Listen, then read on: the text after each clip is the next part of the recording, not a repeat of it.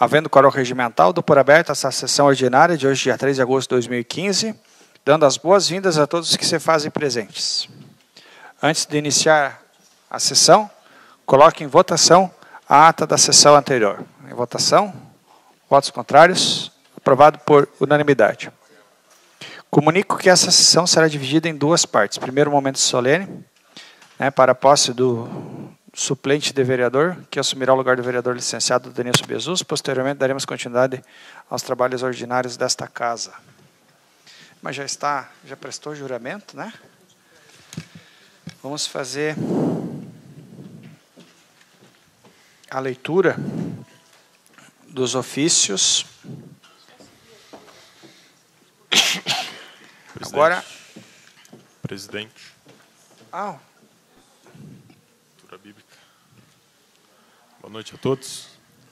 Fazer uma leitura bíblica. O Salmo de número 121, que diz assim: Levo os meus olhos para os montes, de onde me virá o socorro? O meu socorro vem do Senhor que fez o céu e a terra. Obrigado, presidente. Obrigado, desculpa, não tinha lhe visto. Agora sim, solicito ao, ao primeiro secretário que leia o pedido de licença do vereador Edenilson Biazus. Boa noite a todos e a todas. Xanxerê, 20 de julho de 2015. A Câmara de Vereadores de Xanxerê. Prezados senhores, em cumprimento ao disposto nos artigos 256, inciso 2 e 258 do Regimento Interno desta Câmara de Vereadores, venho pelo presente solicitar licença para tratar de assuntos particulares pelo prazo de 30 dias, iniciando-se no dia 1 de agosto de 2015. Sem mais para o momento, agradeço a atenção atenciosamente a Denilson Biazus. Agora solicito ao primeiro secretário que faça a leitura da resolução WMS 011 de 2015, que concede a licença àquele vereador. Resolução número WMS 011/2015, que concede a licença ao vereador Denilson Biazus para tratar de assuntos de interesse particular. Wilson Martins dos Santos, presidente da Câmara Municipal de Xanxerê, faz saber que no uso das atribuições que lhe são conferidas pela Lei Orgânica do Município e pelo Regimento Interno da Casa, artigo 36, inciso 7 resolve. Artigo 1 conceder licença pelo prazo de 30 dias, iniciando-se dia 1 de agosto de 2015, ao vereador Adenilson Biazus, nos termos preceituados pelo artigo 256, inciso 2 do Regimento Interno da Câmara Municipal, para que o vereador citado possa tratar de assuntos de seu interesse. Artigo 2 Essa resolução entra em vigor nessa data, ficando revogadas as disposições em contrário. Câmara Municipal de Xanxerê, 21 de julho de 2015.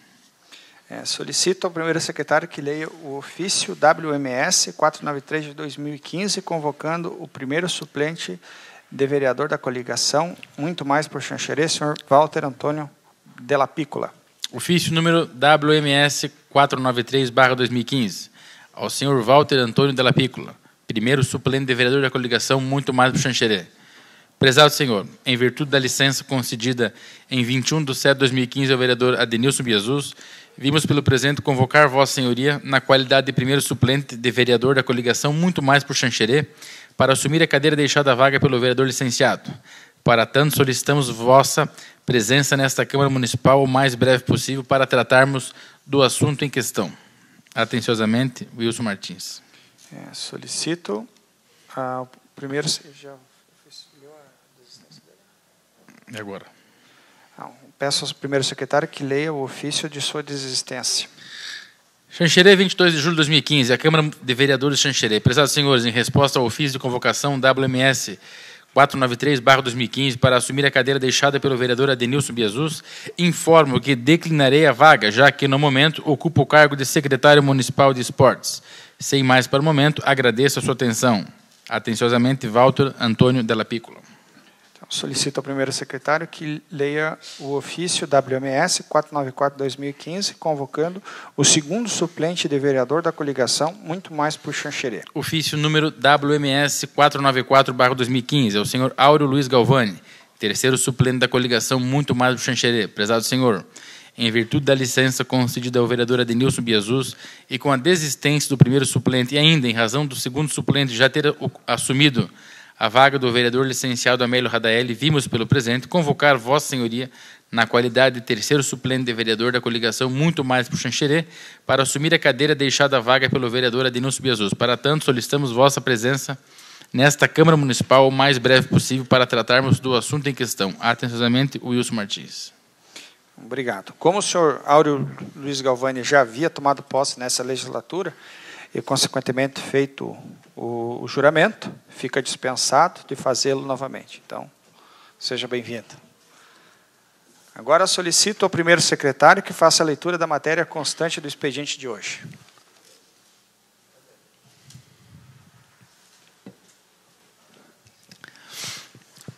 Pauta do dia 3 de agosto de 2015. Sessão ordinária. Expediente.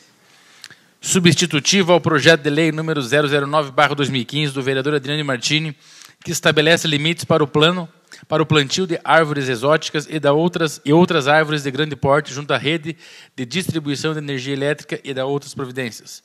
Correspondências recebidas da parte de Xanxerê, convidando para o Seminário Regional Prevenção de Deficiências, segundo encontro regional das APAES do Oeste, a realizar-se no dia 18 de 8 de 2015, às 9 horas, no Centro Comunitário da Igreja Matriz Senhor Bom Jesus.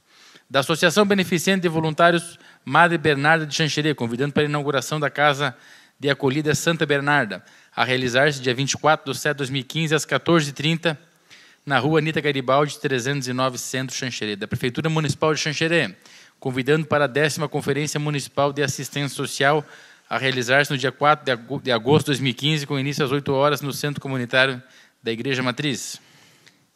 Da Cooperativa Agroindustrial Alfa, Cooperalfa, convidando para a inauguração do silo e da UBS de Xanxerê, a realizar-se no dia 15 de agosto de 2015, às 19h30 horas, na rodovia BR-282, quilômetro 497, linha São Sebastião Xanxerê.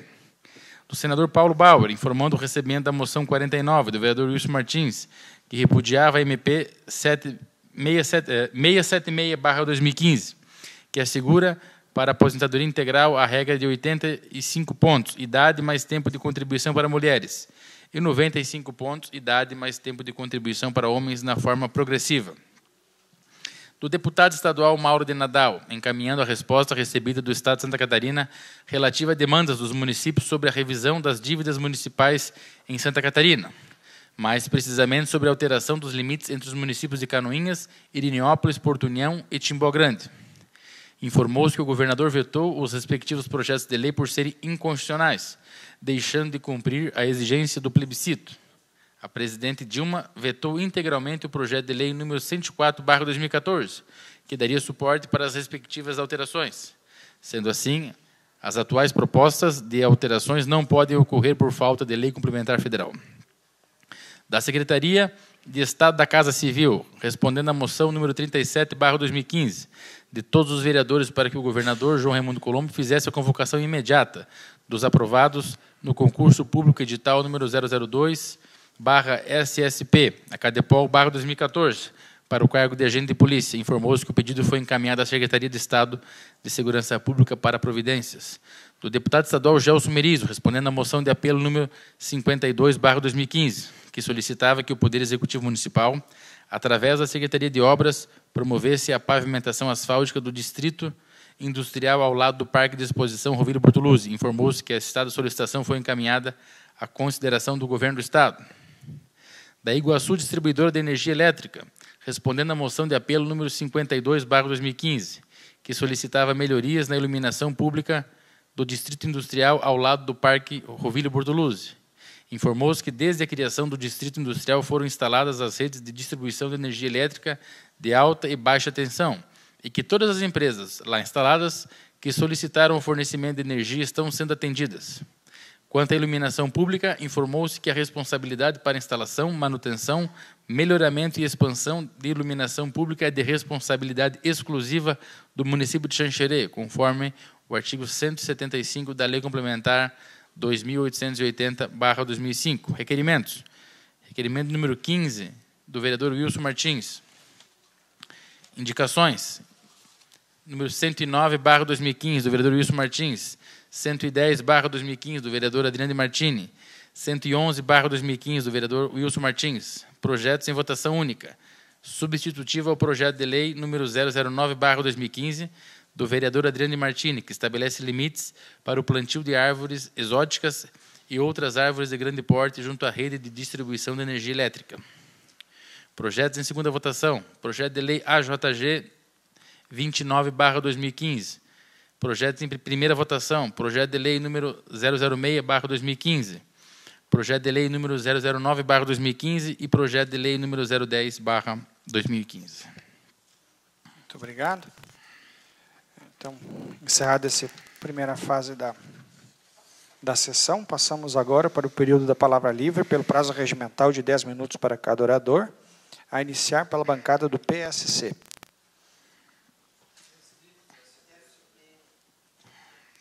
Está errado aqui no meu. PSD. PSC.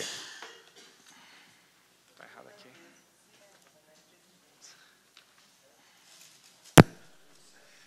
Tá, tá equivocado aqui meu. É, senhor presidente, quero aqui cumprimentar a todos os meus colegas vereadores e vereadoras, cumprimentar aqui o público que nos acompanha através da internet, cumprimentar o público aqui presente e quero, com muita alegria, destacar a presença de algumas pessoas aqui, somente do meu pai, Carlinhos, empresário e ex-prefeito de Guatambu, pastor Lauro João Atanásio dos Santos, pastor presidente da nossa igreja evangélica Assembleia de Deus de Xanxerei Todo o Campo, também pastor Rubens Pumering, pastor auxiliar ali na sede, e pastor da igreja do bairro São Jorge. Né? Também cumprimentar aqui o, o nosso amigo. É... Fugiu o nome agora. Diretor de habitação ali. Vilmar do Vilmar do Som, isso. Vilmar. Os demais funcionários da casa aqui que nos acompanham. Bom, presidente, inicialmente eu quero já aproveitar a presença do pastor Lauro aqui na nossa, na nossa casa. O pastor Lauro foi, é, na gestão passada, já homenageado com uma placa de cidadão xanxerense aqui pelo trabalho que vem prestando há 17 anos aqui na cidade de Xanxerê. E o pastor Lauro aqui no nosso último dia de sábado, juntamente com a sua esposa, a dona Olinda dos Santos, é, foi comemorado ali na Igreja Evangélica Assembleia de Deus a, a passagem de 36 anos de ministério que ele tem prestado, serviço ao evangelismo, pregando a palavra de Deus, fazendo a obra de Deus, ajudando na vida espiritual das pessoas que, que pertencem aqui à nossa cidade e em todo o estado de Santa Catarina.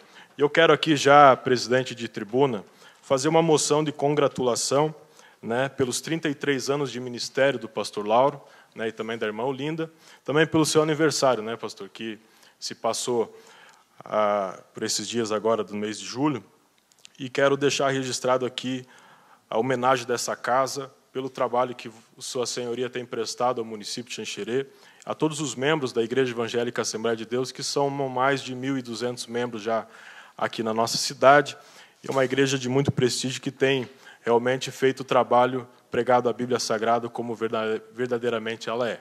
Então, já vou deixar aqui registrado ao vice-presidente em exercício, Fernando Calfos, possa constar aí na ata depois para nós podermos votar uma moção de congratulação pelo aniversário dos 33 anos de ministério do pastor Lauro João Atanásio dos Santos e da irmã Olinda dos Santos em todo o nosso estado de Santa Catarina.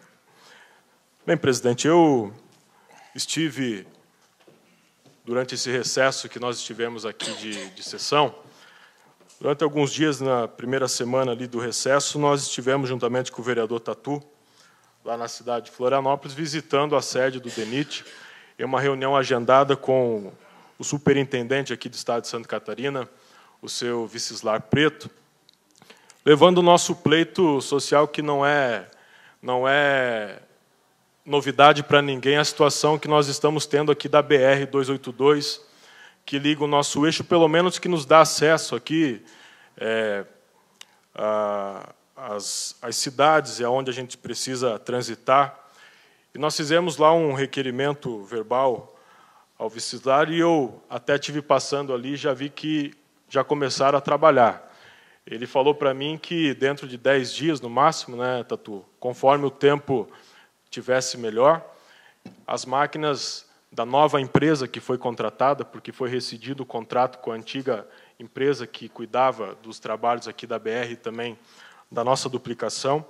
E foi feito, então, esse trabalho. Eu quero aqui já agradecer de tribuna, eu sei que, pelo menos ele falou que ia tentar assistir a sessão, então quero aqui deixar o meu reconhecimento pelo, pela atenção que foi dada à minha pessoa e também ao vereador João Paulo Menegatti, e de ter ido lá e já determinado que a empresa fosse é, tapar esses buracos. Uma vergonha o que está acontecendo nas nossas BR, esse descaso, e não há desculpa para poder tomar uma medida. Isso é medida urgente. Né? Vidas estão sendo ceifadas nessa BR, pessoas estão perdendo suas famílias, e isso não pode continuar. Então, eu quero aqui deixar o registro, a gente não pode também apenas criticar, mas quando é tomada uma atitude, a gente tem que parabenizar. Eu quero aqui parabenizar também a pessoa do deputado Jorginho Melo, deputado federal, que tem dado toda a atenção à nossa pessoa, aos nossos pedidos, e é o partido PR que cuida da pasta do DENIT aqui no estado de Santa Catarina. Então, segundo ele, o recapeamento vai ser feito de alguns trechos entre Ponte Serrada até Chapecó, alguns trechos mais críticos, vai ser quebrado o asfalto e vai ser refeito com um asfalto novo, e aonde tem alguns buracos de menor potencial ofensivo, vai ser então tapado esses buracos para poder é, dar uma, uma, uma trafegabilidade tranquila para todos aqueles que utilizam da via da nossa BR-282. E na mesma atuada, estivemos também em Brasília, na semana passada, e eu tive a oportunidade de levar em mãos um ofício, né, um ofício ao nosso Ministério dos Transportes, sobre o tão falado pedágio que tem tirado as noites de sono dos motoristas aqui da nossa região. Né, a presidência da Câmara levou o pleito lá na audiência pública, o vereador Wilson eu acompanhei, e vi é, a indignação das pessoas com o preço que está sendo, ou pelo menos que está se projetando em ser cobrado, uma das rodovias mais caras, né, que vai custar esse pedágio aqui em Xanxerê. E eu fiz um ofício ao deputado Jorginho Mello, e por questão de período, ele tem uma reunião marcada é, para quarta-feira agora com o ministro dos Transportes, onde vai ser discutido já também a inauguração da nossa BR aqui, depois de finalizada. E a pauta que eu levei a eles foi o que eu levantei na nossa reunião, presidente, quando nós estivemos ali é, atrás na, na, sala de reuniões da Câmara, sobre a possibilidade de nós isentarmos, nós isentarmos o pagamento de pedágio para aqueles que tiverem veículos com placa de chancherê. Né? Por quê? Porque aqui nós temos várias atividades próximas. O Xanxerê ela, ela é sitiada de municípios muito próximos. E muitas pessoas trabalham em outros municípios, exemplo de Xaxim. Pessoas que têm que trabalhar no frigorífico, e como é que você vai ir numa cidade igual Xaxim, gastar 30 reais para poder ir ali e voltar? Então, isso não pode acontecer, nós não podemos admitir isso. É um preço um absurdo. 14,90 é um preço que é pago em algumas rodovias em São Paulo, em Goiânia, onde se cobre e onde a estrutura é muito grande. Aqui, Xanxerê, não sei nem se vai ter a duplicação dessas rodovias para poder se cobrar esse pedágio. Então, eu levei esse ofício em mãos, entreguei ao deputado federal Jorginho Melo, o qual se comprometeu a levar também ofício em mãos ao, ao, ao ministro dos Transportes, e logo creio que vamos ter uma resposta, porque a intervenção que o Ministério tem é ele que coordena a NTT, que é a agência que está formalizando a concessão da rodovia, e eu creio que é a força maior que pode é, dar um, um, uma resposta mais imediata e mais precisa para a comunidade xanxerês. Então fica aqui o meu registro, presidente, da minha vontade, tomara que seja dado é, atenção a esse pleito, porque, como é, se trata de uma rodovia federal, a Câmara Municipal não tem autonomia e não tem competência para poder legislar para isentar alguma questão tributária nessa situação. Então, é, foi pedido ao Ministério dos Transportes, foi pedido ao deputado federal Jorginho Melo, que é do seu partido e representa Santa Catarina lá no Congresso nesse interesse, para que possa ser feito o pedido de isenção para veículos com placa de Xanxerê. Então, quem tiver placa de Xanxerê, queira Deus que não precise pagar esse pedágio. E também, na mesma atuada, eu fiz o pedido para que fosse estudado, pelo menos, a equiparação do pedágio que é pago lá na cidade de Porto Belo. A cidade de Porto Belo é uma rodovia onde é situada ali na, na BR-101, e lá na 101 é pago o valor de R$ 1,90. Até foi tirada uma foto, foi levado ao ministro, então não tem o porquê. R$ 1,90 creio que também não seria um valor tão tão, tão, tão difícil de se pagar, mas um valor coerente. Né? Então, por que nós nós não levarmos para esse princípio diante aí da, do princípio da isonomia, da igualdade, que nós temos que tratar as pessoas respeitado alguns casos. Então, senhor presidente, a princípio seria isso que eu teria para falar hoje. Vamos estar, durante as outras sessões, discorrendo sobre algumas outras atividades. Mas, de imediato, eu quero aqui, presidente, três minutos. Eu tive a visita na ANEL, na Agência de Energia Elétrica, lá em Brasília, porque a, o Ministério de Minas e Energias está agora fazendo, através da ANEL, um novo projeto de concessão da exploração da atividade de tra transporte de energia é, no, no, em todo o país. Segundo o ANEL, são 44 concessionárias de, de energia que tiveram agora em 2015, no último dia 7 de julho, o seu contrato findado. 30 anos tiveram prazo de exploração. E eu, como participei, é, até pelo pouco período que, que estive, mas sempre procurei ser muito ativo, no Conselho de Consumidores aqui da nossa Iguaçu Energia, é, até na oportunidade que teve alguns apagões aqui na cidade, eu estive lá na ANEL e conseguimos trazer uma audiência pública aqui em Xanxerê, onde foi discutida a questão do, do, preço das tarifas e também foi discutido sobre a, a, necessidade de investimento hoje, onde o governo do estado felizmente fez a, ampliação da subestação aqui de Xanxerê, mas foram pleitos requeridos ainda lá em 2012, 2011, 2011 e foi atendido para poder amenizar a situação da energia aqui de Xanxerê. Mas o contrato aqui da nossa Iguaçu, falando de Iguaçu aqui de Xanxerê, terminou. A Iguaçu está operando aí é, em tese regularmente, mas né, com o aval da ANEL. Por quê? Segundo o governo federal, foi feito um decreto onde foi determinado a renovação de todos os contratos de concessões do Brasil de forma imediata. Segundo eles, tiver, teve uma audiência pública que não foi divulgada. Né? Eu creio que aqui a própria Iguaçu deveria ter alimentado e, e, e trazido essa notícia até as, as pessoas aqui, os consumidores da nossa região, sobre essa audiência pública que aconteceu, mas ninguém sabia. Né? Cumprir um, um formalismo legal, mas não sei quem que participou dessa, dessa, dessa audiência pública para se debater sobre a, se ia ser feita a renovação das concessões ou não. Enfim, foi feito um decreto pela presidente, pela, através do Ministério de Energias, e foi renovado por mais 30 anos a exploração da energia por todas as concessionárias do nosso país. Segundo eles, não há empresa suficiente para poder é, participar de um novo processo licitatório, de um leilão, para poder explorar a atividade ou vir concorrer até para para dar mais qualidade de serviço e até a questão de preço da exploração. Porque 50% da tarifa de energia, presidente, mais três minutos eu vou finalizar. 50% são tributos e 50% cabe à concessionária estipular o seu ganho, seu ganha-pão dentro dessa tarifa. E foi, foi feito de forma, creio que até autoritária, meio arbitrária, a renovação desses contratos.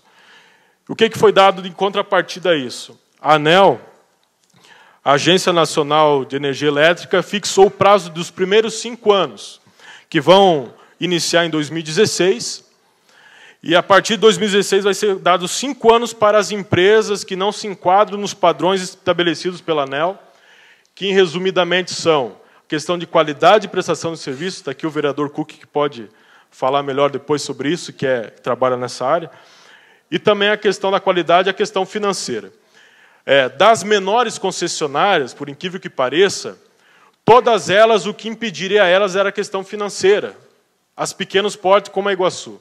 A Iguaçu é diferente. A Iguaçu tem dinheiro. Mas o que impediria hoje uma renovação do contrato com a Iguaçu seria a qualidade da prestação de serviço. Tem o laudo no site da ANEL, tem lá a equiparação. Foi dado, então, cinco anos para poder se atualizar. Se a empresa não se atualizar, segundo a agência, eles vão intervir na agência, ou eles rescindem o contrato, ou eles vão designar um interventor, algum administrador da ANEL, para poder vir intervir e administrar a empresa. Então, cabe agora aos consumidores aqui da nossa cidade analisarem. Né? Eu acho que precisaria de mais investimentos por parte da Iguaçu aqui na nossa cidade. Precisaria. Se você for no interior, ainda tem poste de madeira por aí. Precisaria. A qualidade da prestação de serviço vai, vai acontecer conforme você tiver equipamentos e, e, e, e aparelhos que, que nos dê essa segurança na prestação de serviço. Então, hoje, o canal que o consumidor tem mais direto seria a ANEL. Então, que os consumidores fiquem alerta. Né? A Iguaçu vai estar sobre análise durante cinco anos. Se ela não melhorar o ponto que, o, que a ANEL estipulou para ela nesses cinco anos, se ela ou não melhorar durante dois anos consecutivos, vai ser rescindido o contrato com a empresa, vai ser intervido, vai vir uma nova empresa, vai abrir uma nova licitação para a exploração da energia elétrica. Então, eu gostaria de divulgar isso aos consumidores, uma coisa que creio que ninguém estava sabendo, mas que fiquem mais atentos, use seu poder de polícia, fique fiscalizando, ligue para a ANEL, ligue nas ouvidorias da, das nossas pessoas que fiscalizam e que atuam no, ao favor do consumidor, e fique atento. A Iguaçu está sobre esse processo aí, e creio que logo vai, vai poder dar uma resposta, a ANEL vai dar uma resposta concreta diante da satisfação do serviço aqui da comunidade. Obrigado, presidente. Só para, antes de finalizar, presidente, não posso deixar aqui de dar as boas-vindas ao meu colega Cook. O Cook a gente sempre está trabalhando junto, né? Quando você, eu assumo, você assume, ou quando você assume, eu entro na Câmara. Então, boas-vindas, bom trabalho, que Deus te abençoe e bom sucesso aqui no seu pleito. A palavra está com a bancada do PT.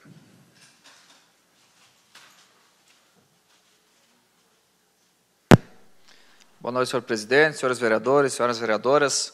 Nosso cumprimento especial a todo o público que nessa noite nos acompanha aqui na, nessa casa, na sessão na, aqui na Câmara. Especial Cleiton, que também está voltando a acompanhar os trabalhos, o Arno, que está nessa noite, o professor Atílio, seu neto também. Desejar as boas-vindas, já recuperado aí do, de uns probleminhas de saúde, mas que agora está nas ativas novamente, aí, trabalhando junto pastoral carcerário no nosso município.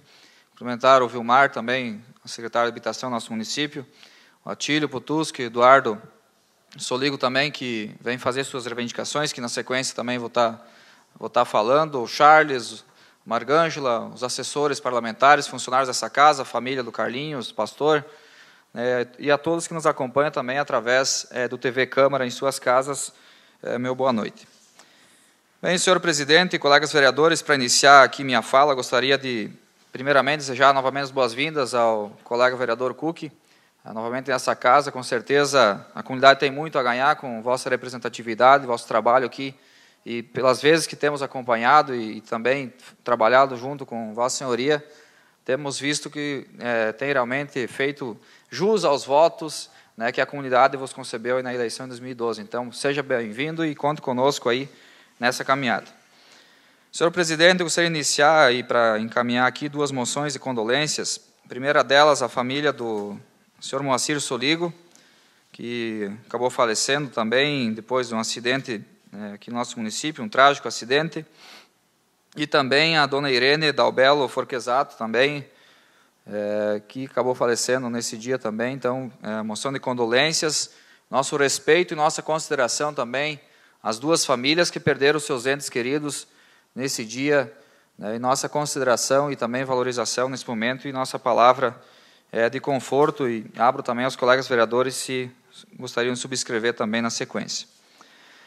Bem, senhor presidente, a comunidade que nos acompanha, e está aqui o Atílio, Eduardo, eu não sei se tem mais algum morador da...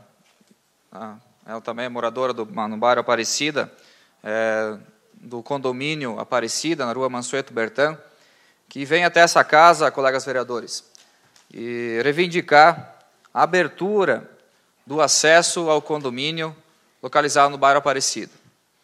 Já por muito tempo, vereador Muniz, é, vem cobrando junto à administração municipal a solução é, daquele problema da abertura total daquela rua que está aberta só metade, né? E justamente o acesso é, que dá acesso ao condomínio Aparecida, onde oito famílias adquiriram é, seus apartamentos, suas moradias, né, que estão impossibilitadas aí de entrar, morar nesse, nesses apartamentos porque não têm o acesso adequado.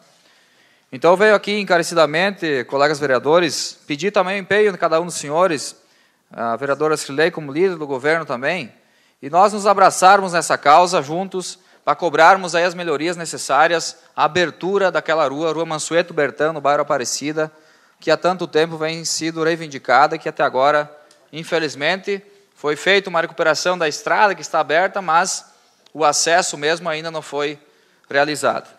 Então, dizer a Tílio, Eduardo, que os demais moradores, que nós estaremos aí na, nessa semana ainda, né, fazendo essas cobranças junto ao Executivo, né, para que logo esse caso se solucione e que as pessoas possam entrar, os moradores possam ter o acesso é, àquela localidade, ao condomínio Aparecida que foi edificado e que estão realizando o sonho saindo do aluguel né, e que estão aí impossibilitados de entrar naquele condomínio. Então, peço apoio aos colegas vereadores para também nós votarmos favoráveis à indicação e pedirmos aí o empenho do Executivo, que é um trabalho que não demora muito, vereador Muniz.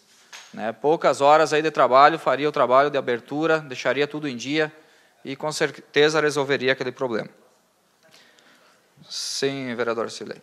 Só uma pergunta: quando se constrói um condomínio, você faz um loteamento, a construtora tem que dar infraestrutura completa. Como é que constrói um condomínio sem rua? Mas já é, está consolidado lá, né? Um espaço que já está consolidado. Inclusive tem que ter licença, tem até um pinheiro, né, que tem que ser retirado, né? Tem um pinheiro que tem que ser retirado, inclusive na rua, que, que tem que ter uma licença, inclusive ambiental, para poder ser retirado também. É, né? mas me estranha a construtora não tomar essas providências antes, né, Adriano? É, já, Mas eu vou procurar isso, já solicitaram. Já solicitaram o executivo, então a, a cobrança que agora realmente possa sentar junto ao executivo e realmente resolver. Mas é importante buscar, e Vossa Senhoria também tem feito esse trabalho, e nós buscarmos juntos a solução desse problema, porque é, realmente ó, as pessoas vieram até aqui hoje porque não tem mais a quem recorrer. Então, realmente que seja buscada a solução é, desse fato. Também, senhor presidente, colegas vereadores, eh, hoje também volta para votação o projeto que pedimos vistas na última sessão, que trata da questão da, das árvores, eh, da limitação do plantio de árvores eh, sob as, as, redes elétricas aqui no nosso município, na área rural, né, onde nós buscamos aí no pedido de vistas, buscamos o apoio da Secretaria de Políticas Ambientais e as sugestões também dos profissionais daquela, daquela secretaria, para também amadurecer e poder trazer algumas melhorias nesse projeto de lei né, que apresentamos na última sessão. E que agora vem como em forma de projeto de lei substitutivo, é, colocando aí o que nós discutimos na última sessão, que era principalmente a questão da, da multa, né, ou seja, da sanção para que realmente se torne efetivo aquele projeto, e através do estudo que foi realizado junto à Secretaria de Políticas Ambientais e de acordo com o Código de Posturas do município, onde já é praticado é, as 200 é, unidades fiscais é, de referência monetária que o nosso município, então foi aplicado e colocado no projeto a multa de quem não respeitar o projeto dessas 200 é, unidades fiscais monetárias de referência aqui no nosso município, para que realmente o projeto tenha efetividade. E para a comunidade que nos acompanha, o projeto prevê o quê? Em todas as redes de distribuição de energia, é, aqui no nosso município, no interior, devem respeitar 20 metros é, do seu eixo o plantio de árvores é, exóticas ou árvores de grande porte, ou seja, árvores que depois da sua maturidade tenham aí mais de 10 metros de altura. Por que isso? Isso é fato também, o Cook tem acompanhado isso, e dados a Iguaçu Energia também, mais de 70% dos casos de quedas de energia aqui no nosso município, em, em todo o estado, advém do quê? Das árvores que acabam caindo em cima das redes de energia. Então, esse projeto tem realmente essa preocupação, e que nós estamos agora com as emendas, com os estudos da Secretaria de Políticas Ambientais, colocando novamente para votação para realmente trazer mais qualidade na questão da energia, que é claro que é, deve ser considerada a fala do nosso colega vereador Muniz, que deve ser melhorado muito, mas é uma alternativa aí que nós verificamos é, para poder não solucionar a CUC, mas dar uma melhor qualidade e resolver em partes os problemas que estão acontecendo. Bom, é uma pena, boa noite a todos, colegas vereadores. É uma pena que a gente não pôde acompanhar desde o início este projeto, até mesmo porque aqui consta as redes de distribuição de energia elétrica. E um dos maiores problemas que nós temos hoje em alta tensão, vereador Adrianinho, é, é o sistema de transmissão. Ou seja, de Xanxerê hoje saem pelo menos nove é, linhas de transmissão de alta tensão, seja ela em 138 ou seja ela em 69 kV. Né? As redes de distribuição são em 23 kV.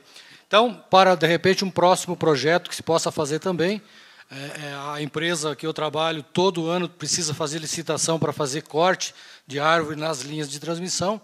E, infelizmente, na, na, distribuição ela não, não contempla. De repente, né, num próximo projeto, a gente poderia até é, incluir as redes de transmissão também, não só da Celesc, como da Eletrosul e das outras empresas geradoras que transmitem a energia aqui para o município de Xanxerê certeza, vereador. É, até como sugestão, esse projeto também está tramitando parecido a esse na Assembleia Legislativa do Estado de Santa Catarina. Então, toda essa demanda, assim, de, mais regional, que, claro, que ocorre nessa, nessa instância, está sendo discutida na Assembleia do Estado também, projeto parecido, mas que está em primeira votação. Né? É, se Vossa Senhoria entender que, que deva ser acrescentado, os demais vereadores também, não há óbice nenhum de nós acrescentarmos aí como sugestão também, e nós buscarmos é, realmente esse entendimento e esse também é, para melhorar também a transmissão que vai para os outros municípios a qualidade Sim. da energia. É, se, se tiver condições a gente pode pedir vistas nele nesse mesmo é, substitutivo aqui do projeto e a gente incluir no, no projeto de lei então as redes de transmissão também. No momento uma emenda, né? Uma emenda poderia uma emenda ser? É, então, no mérito do, do, da, da, votação, na sequência, então, a Vossa Senhoria e também a presidência, que creio que deve ter um, um parecer jurídico também, um outro adendo, também pode estar fazendo as considerações e não, não há problema nenhum. Mas só reforçar que é importante a gente discutir, né, que vai trazer aí uma melhoria importante para a qualidade da, da energia aqui no nosso município, que a gente tem encaminhado, discutido nesse sentido. E como nos comprometemos, então, em trazer aqui as, as emendas e amadurecer o projeto, então, nessa noite estamos apresentando novamente. E também não poderia deixar, nessa noite, senhor presidente, colegas vereadores e a comunidade que nos acompanha, também de me pronunciar aqui e colocar nosso parecer, que inclusive já é, em alguns meios de comunicação já debatemos esse assunto, a questão do pedágio, senhor presidente. É, nós não conseguimos acompanhar o debate lá em Chapecó, mas também estamos atentos a esse debate e, e principalmente, né, nós, na nossa essência, no nosso princípio, né, nós fomos sempre, sempre contrários à instalação de pedágios ou qualquer forma de privatização é, das rodovias. Isso é uma questão que nós discutimos enquanto Partido dos Trabalhadores, que também nós é, verificamos que o governo, em suas esferas, seja ela municipal, estadual ou federal, que tem sua responsabilidade, tem de manter as rodovias com qualidade, com acesso adequado a todos, a toda a população brasileira. Então isso nós entendemos e que nós cobramos sempre essas melhorias, como foram cobradas a questão do recapeamento e os buracos da BR-282, como nós cobramos também das SCCs aqui do, da nossa região, que também estão em péssimas condições, casos aí que, que vai para Chavantina, mais de um ano o problema se alastrando, que houve queda de barreira, até agora não foi feito nada. Então temos isso na nossa essência. Mas como o encaminhamento já foi dado, né, a concessão já foi consolidada, o governo tomou essa decisão, né, a nossa opinião e a nossa posição é que, justamente nesse debate, o vereador Muniz já colocava, é que seja cobrado um preço justo né, é, do pedágio que vai ser colocado aqui no nosso município. Então, a, a comunidade deve sim se organizar, essa, a, essa casa também teve um papel fundamental nesse trabalho, de se mobilizar e cobrar de forma efetiva que seja é, cobrado um preço justo. É, o valor que foi colocado e divulgado pela imprensa é o teto, né? O teto que foi estabelecido pela Agência Nacional de Transporte para que possa ser feito o processo licitatório. O processo de concessão ele é diferente da privatização. Né? A privatização você concedia, é, concedia não, privatizava todo o, o, perímetro da rodovia e a empresa que é, oferecia pagava mais acabava vencendo o processo. A concessão é diferente é pelo menor preço do pedágio. Então o limite é os 14,20, que é claro, é um valor muito alto, né? Mas que o processo licitatório ainda vai ser feito e que o menor valor é que vai vencer. Mas que nós precisamos ficar atentos, né? É, mais dois minutos, senhor presidente, para finalizar. Para cobrarmos realmente que seja é, efetuado e que a Agência Nacional de Transporte, que a empresa, possa realmente considerar a nossa região e fazer um valor razoável.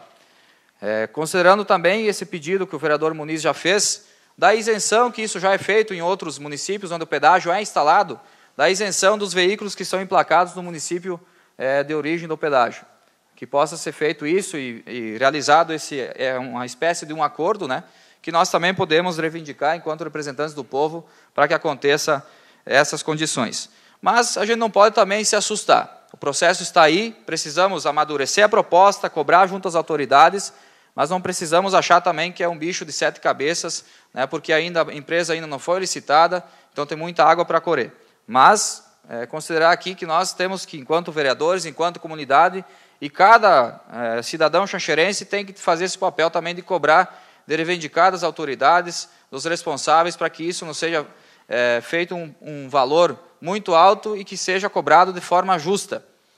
É, às vezes a gente compara com os pedágios do, do litoral, vereador Muniz, mas o processo que ocorreu lá, o governo é, fez o que antes? Duplicou toda a rodovia e depois fez o processo da concessão. Aqui talvez não chegue ao valor de 1,90, porque a empresa vai assumir a duplicação da rodovia.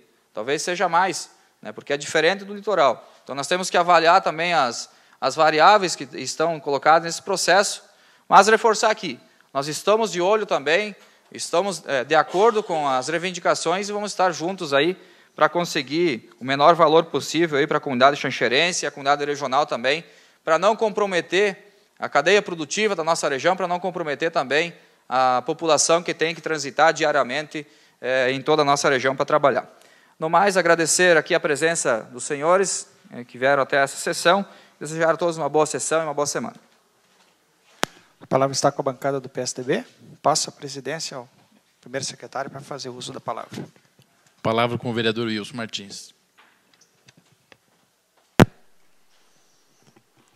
Senhor presidente, senhores vereadores, plateia que nos acompanha aqui da plenária, que nos acompanha pela TV Câmara, nosso boa noite. É, gostaria de cumprimentar meus correligionários aí do, do PSDB, que na, na última sexta-feira estivemos em, num importante seminário que aconteceu em Cordilheira Alta aí, com as lideranças de, eh, do partido, né, da, da nossa região, aqui da região da Mais, juntamente com mais quatro regiões aqui do oeste de Santa Catarina. Né? Tivemos aí um, uma importante explanação né, do nosso presidente estadual, deputado Marcos Vieira, do deputado Leonel Pavan, dando um panorama de como é que estão os trabalhos do partido a nível de estado, qual é as nossas uh, prerrogativas e, e, e metas aí para os próximos anos. Então, cumprimentar presença de todos aí que puderam estar presentes, prestigiando, e onde foi dado posse à executiva provisória do nosso partido, então, é, tendo aí como nosso novo presidente o, o Lauridama. Então, fica aqui o nosso cumprimento, o nosso registro. É, gostaria também de é, agradecer a presença dos, dos, vereadores que puderam participar da, da audiência pública, que tratou justamente da questão da da, do pedágio da BR-282, né, em especial, da Ivone Cirino, da, da Cile Menegola, é, que incansáveis estiveram lá fazendo o seu, o seu papel, defendendo o interesse da, da população xanxerense. Nós tivemos o, o vereador é, José, que ficou representando a Câmara aqui num, num evento no, no, município, o vereador uh, Calfas, que estava de plantão, não, não pôde comparecer, enfim, os vereadores que estavam em viagem, mas os que estavam presentes aqui puderam se manifestar é, pela forma arbitrária, pela forma é, que foi conduzido esse processo. Então, é, quando se fala de dar publicidade aos atos públicos, de fato to nos tomou de surpresa a informação de que estava sendo discutido naquela ocasião é, um assunto tão importante como é o da, da instalação dessa praça de pedágio aqui no nosso município.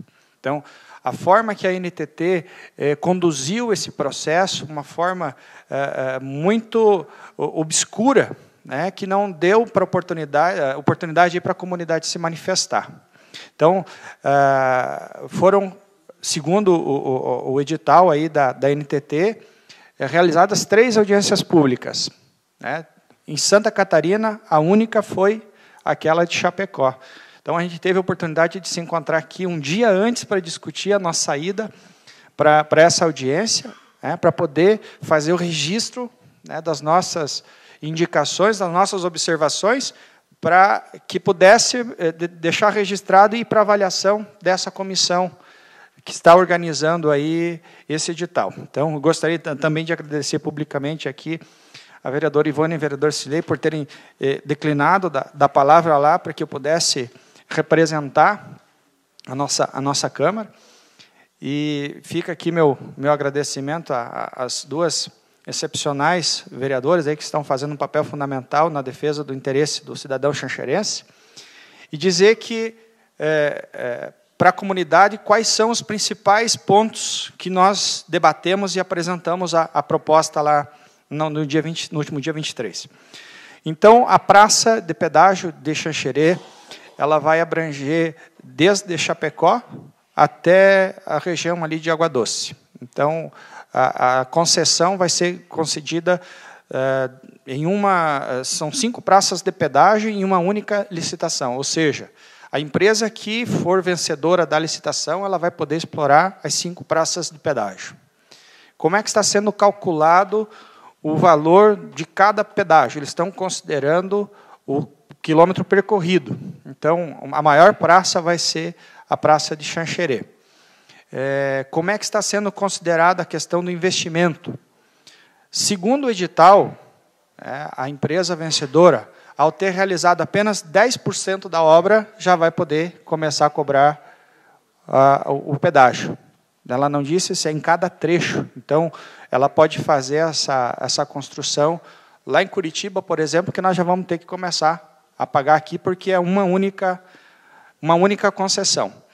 É, outra situação que ficou muito curiosa e, e foi motivo de, de, de, grande satisfação de todos os presentes foi o fato de o trecho de Concórdia, né, é, estando incluso no processo, nós teríamos um valor aproximado aqui de 14,20, valor sugerido segundo os estudos da NTT. Sem aquele trecho, esse mesmo pedágio aqui de Xanxerê custaria em torno de R$ reais. É, a área de maior custo de duplicação seria justamente aquela de Concórdia por conta da situação do, do terreno, relevo, a serra, então seria extremamente dispendioso. Então, por que, né, que nós temos que pagar a conta de uma obra que não vai ser realizada aqui, vai ser realizada lá em Concórdia, naquele trecho? É, e se Concórdia tivesse o trecho, eles teriam que pagar em torno de R$ 7,20. Então nós estaríamos pagando R$ 14,20, eles R$ 7,20. Sem o trecho deles, nós estaríamos pagando em torno de R$ 9,00. Outra situação que, foi questionada foi que nós queremos que seja uh, executado pelo menos aqui os 10% dessa obra, que não seja em toda a, sua dimensão, que seja setorizado, foi a nossa sugestão. E que fosse fracionada essas praças, então, para cinco empresas poderem participar, porque uma empresa só fazer a, a exploração de todo esse, esse trecho. É, nós temos é, um questionamento que foi levantado, inclusive, pelo deputado Esperidião Amin, é, por que, que esse traçado não, não leva para os, os portos de Santa Catarina. Então, eles estão conduzindo todo o escoamento da produção aos portos do Paraná. Então, o que, que se é, é, é, prevê com isso? O que, que se deseja com isso? A NTT não soube responder às indagações feitas né, pelos participantes. Então, ficou muito curioso o motivo de estarem esvaziando aqui os portos catarinenses. É, nós também ficamos espantados com alguns detalhes apresentados pelo estudo da NTT. Segundo o estudo, né, o nosso trecho aqui da BR-222 tem um fluxo diário em torno de 9 mil veículos. Já a Polícia Rodoviária Federal diz que circula aqui pelo nosso trecho de Xanxerê algo em torno de 22 mil veículos por dia. Então, isso tem uma diferença significativa e que vai afetar diretamente na formação do preço do, do, do pedágio já que circulam muito mais do que o dobro do, do, do, do estudo realizado pela NTT. Então, por que dessa forma? Qual é o motivo? Outra situação que também foi amplamente debatida foi o fato de que, eh, nesse estudo apresentado pela, pela agência, o, o, essas licitações, essas concessões, elas têm ficado em torno de 51% do valor sugerido. Então, se ele já tem isso por média, por que dar uma margem de 100%, já que são fechados em torno da metade, para que deixar essa margem já no edital? Então, por que, que não reduz esse valor teto? Então, são todas essas indagações que gerou uma, uma preocupação muito grande nas, nos participantes. Quando se fala em pedágio, você não pode induzir ou obrigar a todas as pessoas a passar por uma única estrada sendo obrigadas a pagar pedágio. Tem que ter uma via alternativa. E eu pergunto, onde é que está a via alternativa de ligação de todo o oeste catarinense? Quem quiser escoar sua produção de Chapecó, por onde é que vai passar se não for passar aqui pela 282? Vai ter que ir pelo Paraná, vai ter que ir pelo Rio Grande do Sul? Nós não temos essa, essa oportunidade aqui na nossa região. Então, é, outra situação que é mais indignante de todas, né, quando se fala de infraestrutura, a obrigação de manter toda a estrutura viária, enfim, é do governo federal. Né? Por que repassar essa obrigação para a comunidade? Então, é assumir que não tem competência suficientemente para administrar os, os recursos aí que são arrecadados e que não são poucos, né? Todos nós estamos cansados de pagar impostos. Não foi apresentado nenhum tipo de proposta só, mas nenhum tipo de proposta dizendo que a nossa comunidade seria beneficiada com uma isenção deste ou daquele imposto, justamente por conta de que o governo federal não vai mais gastar nem um centavo para a manutenção dessa rodovia. E por que só até Chapecó? Por que não ligar até São Miguel do Oeste, até a fronteira com a Argentina?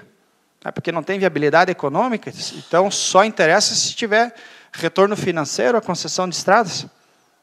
É, e por que a praça aqui em Xanxerê é, a, a, tem um, um, projeto de lei, número 1023 de 2011, de autoria do, do nosso deputado Esperidião Amin, que já prevê essa possibilidade de isenção aí para uh, veículos uh, sediados onde tem a, onde tem a praça de pedágio. É, só falta fazer o, o, sancionamento da lei, então ela já foi aprovada nos dois turnos, estamos aguardando aí a, a presidente da República fazer essa, essa sanção. Até agora não, não ocorreu, também estamos aguardando uma resposta nesse sentido. É, nós sabemos que o governo federal para investir em portos em Cuba tem dinheiro, para investir ferrovias e, e no, no, na Venezuela tem dinheiro, para investir em obras mundo afora aí tem dinheiro, e para investir na nossa infraestrutura, infelizmente aqui da região não tem. Então nós queremos pedir a todos os vereadores aqui que têm base né, partidária no, no, nos partidos que governam o nosso país, que façam esse apelo junto a seus deputados, junto aos seus senadores, para que é, se sensibilize. Né? Nós só temos essa única rodovia para escoar a nossa produção. A comunidade já não aguenta mais de tanto pagar imposto, agora vai ter que financiar a obra, porque executando 10% da obra, a empresa já vai poder cobrar esse valor em pedágio. Então, quem vai pagar a obra não é a empresa, somos nós os usuários. Então, até que ponto é, o povo brasileiro vai ficar quieto, vai ficar silente em uma situação dessa. O discurso antes não podia privatizar nada, não podia ter concessão nenhuma. Agora, pode. Uma boa noite a todos. Muito obrigado. Devolvo a presidência dos trabalhos ao vereador Wilson. A palavra está com a bancada do PMDB.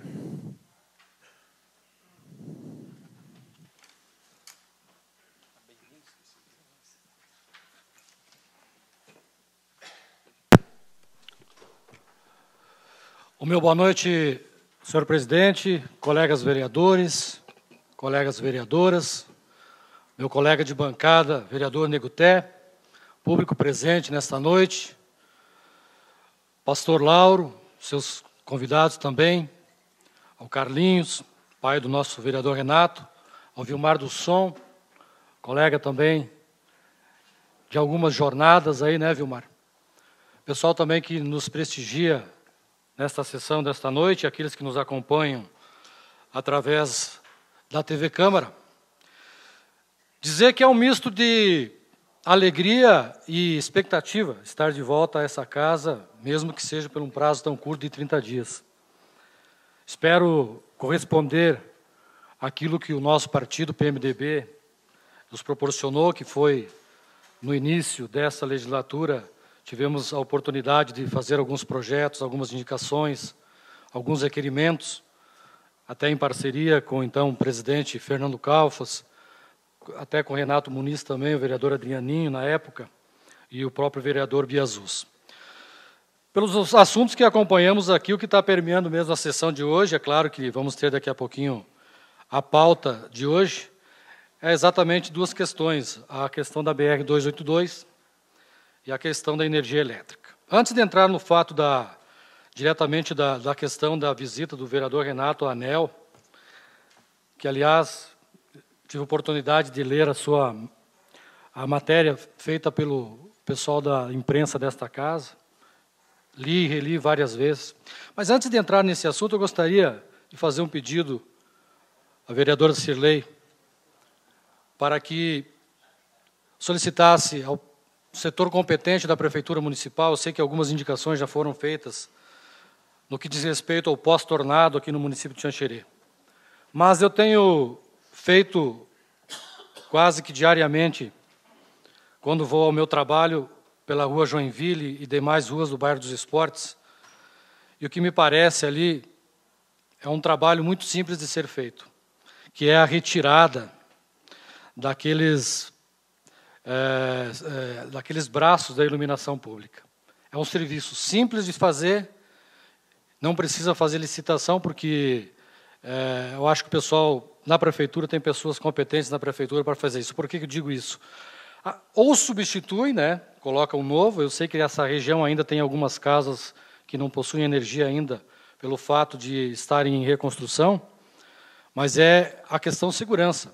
Passa uma pessoa por baixo de, desses postes aí, um braço desses pode causar um acidente grave para as pessoas. Então, solicitar que, na medida do possível, sejam retirados esses até porque as pessoas que vêm de fora, e muitos até nos, nos, nos pedem onde é que é o local da cidade, onde foi que o tornado eh, atingiu maior, onde foi o foco mesmo, né, o, o olho do tornado. A gente explica, não, foi naquela região, bairro Taca, descendo o bairro dos esportes. E o pessoal faz essa visita.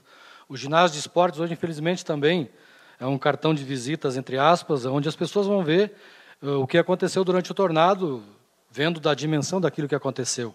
E, ao mesmo tempo, ver aqueles braços esse fim de semana veio umas pessoas de fora e me perguntaram, mas isso é um serviço tão fácil de se fazer, somente retirar ou substituir, né, ou retira e guarda, né, para posteriormente ser então é, substituído. Porque fica uma imagem eh, já foi eh, bastante complicada a situação do tornado, as pessoas sofreram muito e muitas ainda estão sofrendo, e você passa naquele local, a rua toda escura, aqueles braços pendurados e fica uma sensação bastante complicada. Então, solicito a vereadora para que faça esse pedido uh, ao setor competente da Prefeitura de Xanxerê. Por gentileza, só me diga direitinho o nome da rua. A Rua Joinville, me parece que é, a Rua Joinville, desculpa, é, me parece que é uma das mais, mais, mais complicadas, no bairro dos Esportes, né, do, do que sai da Avenida Brasil e vai até o ginásio da Câmara Júnior. Aquela região são vários locais que têm ainda esses braços pendurados lá, é, então, é, mas principalmente na rua Joinville. Fazer uma indicação verbal para isso? Podemos fazer, né, uma indicação verbal, então, para que as, é, o setor competente da prefeitura faça a, na manutenção. Eu sei que me parece que, vereadora Cília, que, que tem um encaminhamento aí de uma empresa que faz o serviço de iluminação pública, que isso é, conforme já eu, até li hoje, é, é o dever da prefeitura fazer isso, né? Então, me parece que houve uma licitação, mas que, pelo menos a retirada, né, para que as pessoas possam fazer essa retirada desses braços aí. A questão da BR-282 é, é, é, notório, né, a gente fez uma viagem na semana passada a Florianópolis, e o, e, os, e o caso é complicado, não é só aqui na nossa região. É, até Florianópolis, se você viajar, se bem que tem uma empresa fazendo um trabalho ali na região de Lages, e o trabalho que eles estão fazendo lá não é somente aquele tapa-buraco, eles estão fazendo aquilo que o vereador Renato falou aqui, que é realmente tirar a parte do asfalto que é complicado e colocar um asfalto novo, que é isso que resolve. Você só botar lá brita, areia e colocar um, um, um asfalto quente por cima, isso, na primeira chuva que der e o primeiro caminhão que passar, vai certamente danificar novamente. Se nós, hoje, da forma que está a BR-282, daqui a Chapecó, o, o DENIT, ou a Agência Nacional de Transportes, deveria pagar, né, não nós pagar pedágio. Então, é claro que isso é um, um fato que vai, ter, vai acontecer, o pedágio, mas é bom que nós estejamos atentos a esse problema. A questão energética, vereador eh, eh, Renato, a sua visita à Agência Nacional de Energia Elétrica talvez tenha sido, pelo que eu conheço, uma das primeiras aqui do pessoal da, da, da, da Câmara de Vereadores de Xanxerê na questão de se, de, de se conhecer um pouco mais da área de concessão da Iguaçu Energia. Eu trabalho há 25 anos e 9 meses na Celesc Distribuição, de Santa Catarina, que é as Centrais Elétricas de Santa Catarina, hoje dividida em três empresas, geração, transmissão e a distribuição, e está no mesmo patamar da Iguaçu Energia. Ela terminou o prazo de concessão, recebeu os 30 anos de renovação, mas é um, é um prazo é, de 30 anos, sendo que nos próximos dois anos, vereador Renato, precisa cumprir metas. E não são metas pequenas. Como é empresa pública, vai ter, vai ter que ver diminuição de pessoas, o que pode complicar na questão social, né? porque vai se criar um PDVI, me parece que no final de 2016, é, para que é, a ANEL determinou que a Celesc coloque tantos funcionários é, por consumidor. E me parece que no caso da Iguaçu também. Mas o maior problema mesmo da Iguaçu Energia, eu acredito que seja na questão de investimentos. Hoje nós temos, nós temos aí redes de distribuição, principalmente no interior, eh, que fazem desligamentos quase que diários. Eh, os relés que estão instalados hoje nas subestações, eles são modernos e qualquer, eh, qualquer perturbação que der no sistema, ele desliga mesmo. Então, é, também esse, esse projeto que tem aí da questão do, plantio de árvores é, ser regulamentado também é importante, por isso que eu peço é, que na hora da votação a gente possa incluir as linhas de transmissão, porque hoje nós temos aqui linhas que saem até de 500 kV e que passam por Xanxerê. Né? Nós trabalhamos em Xanxerê com 23 mil volts, que é o que a Iguaçu Energia trabalha. Mas nós temos aí linhas de transmissão de 500 kV, de 250 kV, de 138 mil volts, quer dizer, é, isso também preocupa bastante. Até um trabalho que foi feito pela Secretaria da Habitação através do Vilmar do Som, né, Vilmar? Quando da, da, da construção de uma, uma horta comunitária lá no bairro Vila Sésamo, a preocupação exatamente da Celesc e da Eletrosul é as construções debaixo da, das linhas de transmissão. E a, também a, a questão de, das arborizações também é essa preocupação. Então, por isso mesmo, eu acho que nós temos que acompanhar de perto e incluir também as linhas de, de transmissão. Ainda voltando à Iguaçu Energia, eu peço mais dois minutos, senhor presidente. É, na questão é, da Iguaçu Energia, nós temos o grande problema, que é o chamado DECFEC. É um termo técnico, mas que nós podemos, é, com o passar dos dias aí, das outras sessões, esmiuçar mais. O DECFEC é, é, são os índices que são medidos, é, onde a ANEL vê a duração, que é o DEC, da, do desligamento, e o FEC, que é a frequência, ou seja, com que frequência tal linha de transmissão ou de distribuição é desligada, e o DEC, que é o, o, o, o que é o tempo, né? ou seja, a frequência e o tempo que essa, essas linhas são, são desligadas. Mas tudo isso também a gente tem que constar a questão eh, do tempo do tempo ruim, no caso do tornado, né? isso existe como explicar.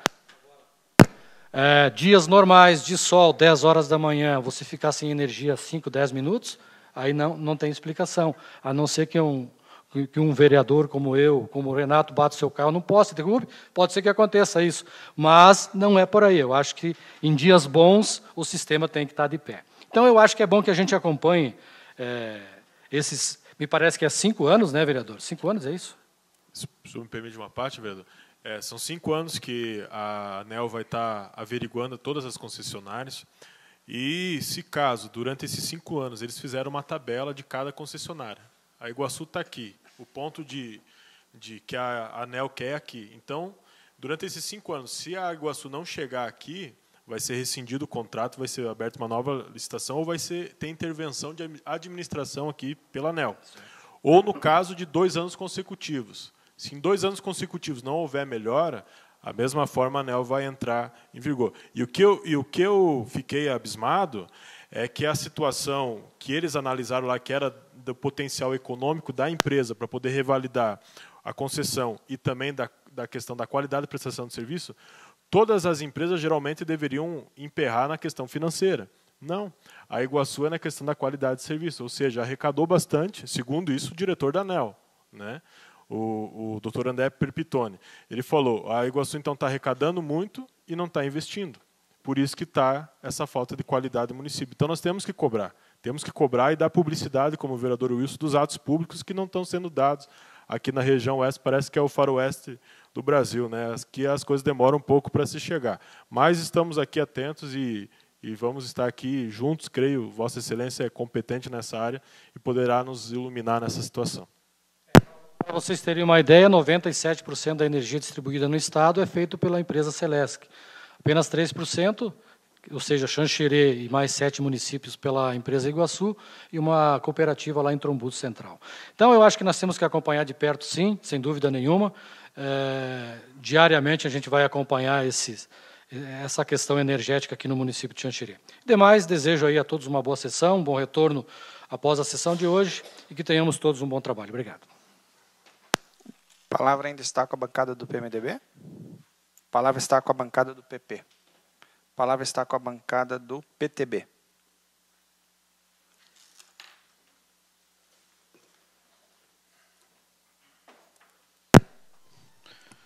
Boa noite a todos. Cumprimentar aqui presidente, vereadores, vereadoras, público que está presente. Bem, nós estivemos a semana passada, como colocado aqui pelo Renato, no DENIT, é, onde foram liberados aproximadamente 30 milhões né, para o recapeamento de algumas, alguns trechos da BR-222 entre Ponte Serrada e São Miguel do Oeste. Então, esses 30 milhões devem ser gastados nos próximos quatro meses né, para o recapeamento. A empresa que ganhou a licitação é a SSM, de Minas Gerais, uma empresa muito forte. Então, uh, nos deu uma alegria muito grande saber que esse trecho, né, e nos pontos mais críticos, vai ganhar uma, um recapeamento do asfalto, tirado a, a, a pavimentação já existe e feito uma nova pavimentação na via. Então, aqui o, o preto, né, foi uma pessoa muito prestativa, uma pessoa, uh, um jovem, né, já na já na, na, na pasta do Danite. É uma pessoa ah, extremamente prestativa, uma pessoa que nos colocou a par de muitos assuntos né, em torno das BRs federais de nosso município, do nosso estado. Inclusive, alguns remanejamentos de, de, de BRs do litoral, né, que os valores serão aplicados aqui na nossa região. Também estive no Badesc, né, aonde uh, lá foi constatado que teve uh, teve a última vistoria das pavimentações asfálticas que estão sendo feitas em nosso município no dia no dia 10 de 6 de 2015. É, mas as obras se encontram paradas há mais de 120 dias. Antes do tornado, já as obras se encontravam paradas. Não existia nenhuma máquina trabalhando na pavimentação em nosso município. Mas, segundo eles, está tudo ok. Né? Eu vou enviar um relatório para eles das ruas paradas, as fotos, tudo isso para que eles tenham base do que está acontecendo no município de Xanxerê. Quem fez essa vistoria foi o engenheiro de Chapecó, juntamente né, com engenheiros da Prefeitura Municipal de Xanxerê. Então, a última vistoria dizendo que estava tudo ok, foi dia 10 do 6. E se alguém viu alguma máquina por aí, que me avise. Né, fazendo a pavimentação ou mexendo nas ruas, que começaram a pavimentação e não estão concluindo. E esse dinheiro do Badesc, ele tem prazo. Ele tem um prazo de 12 meses, né, para esse dinheiro ser gasto. Como ele me explicou lá, pode ser que eles façam um, uh, espiche um pouco o contrato, como pode ser que não. É, vai depender da negociação.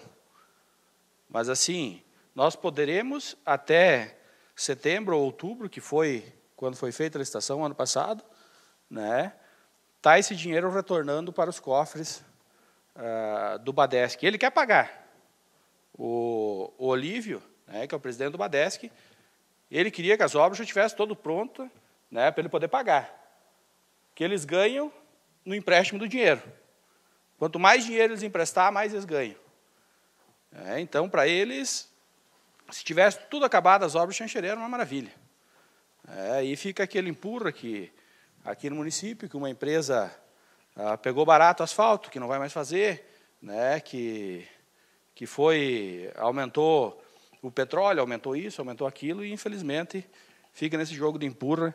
E as, e as pessoas que estão sofrendo nos bairros, né, diante da pavimentação que começou e não foi concluída.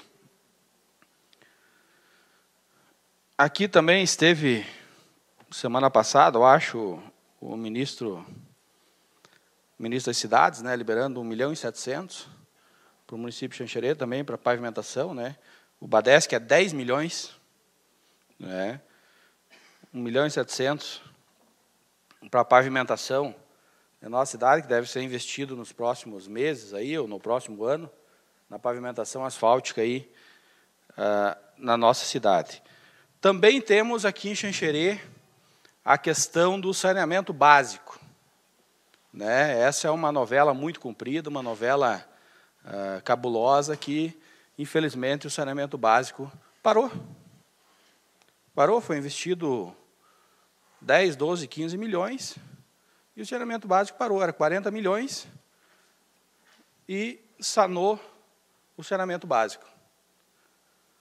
A culpa é de quem? uma das maiores obras do município de Xanxerê. E uma das obras que mais vai beneficiar a população, a nossa população de Xanxerê, se chama saneamento básico, que todas as, as pessoas precisam ter. Mas, infelizmente, está parado. Culpa da administração? Culpa do governo? Culpa do contrato? precisamos uma explicação. Nós não podemos parar uma obra no meio, uma obra que já foi investido 15 milhões, 16 milhões, né? Para amanhã ou depois está tudo entupido e infelizmente nós não podemos fazer mais nada com isso.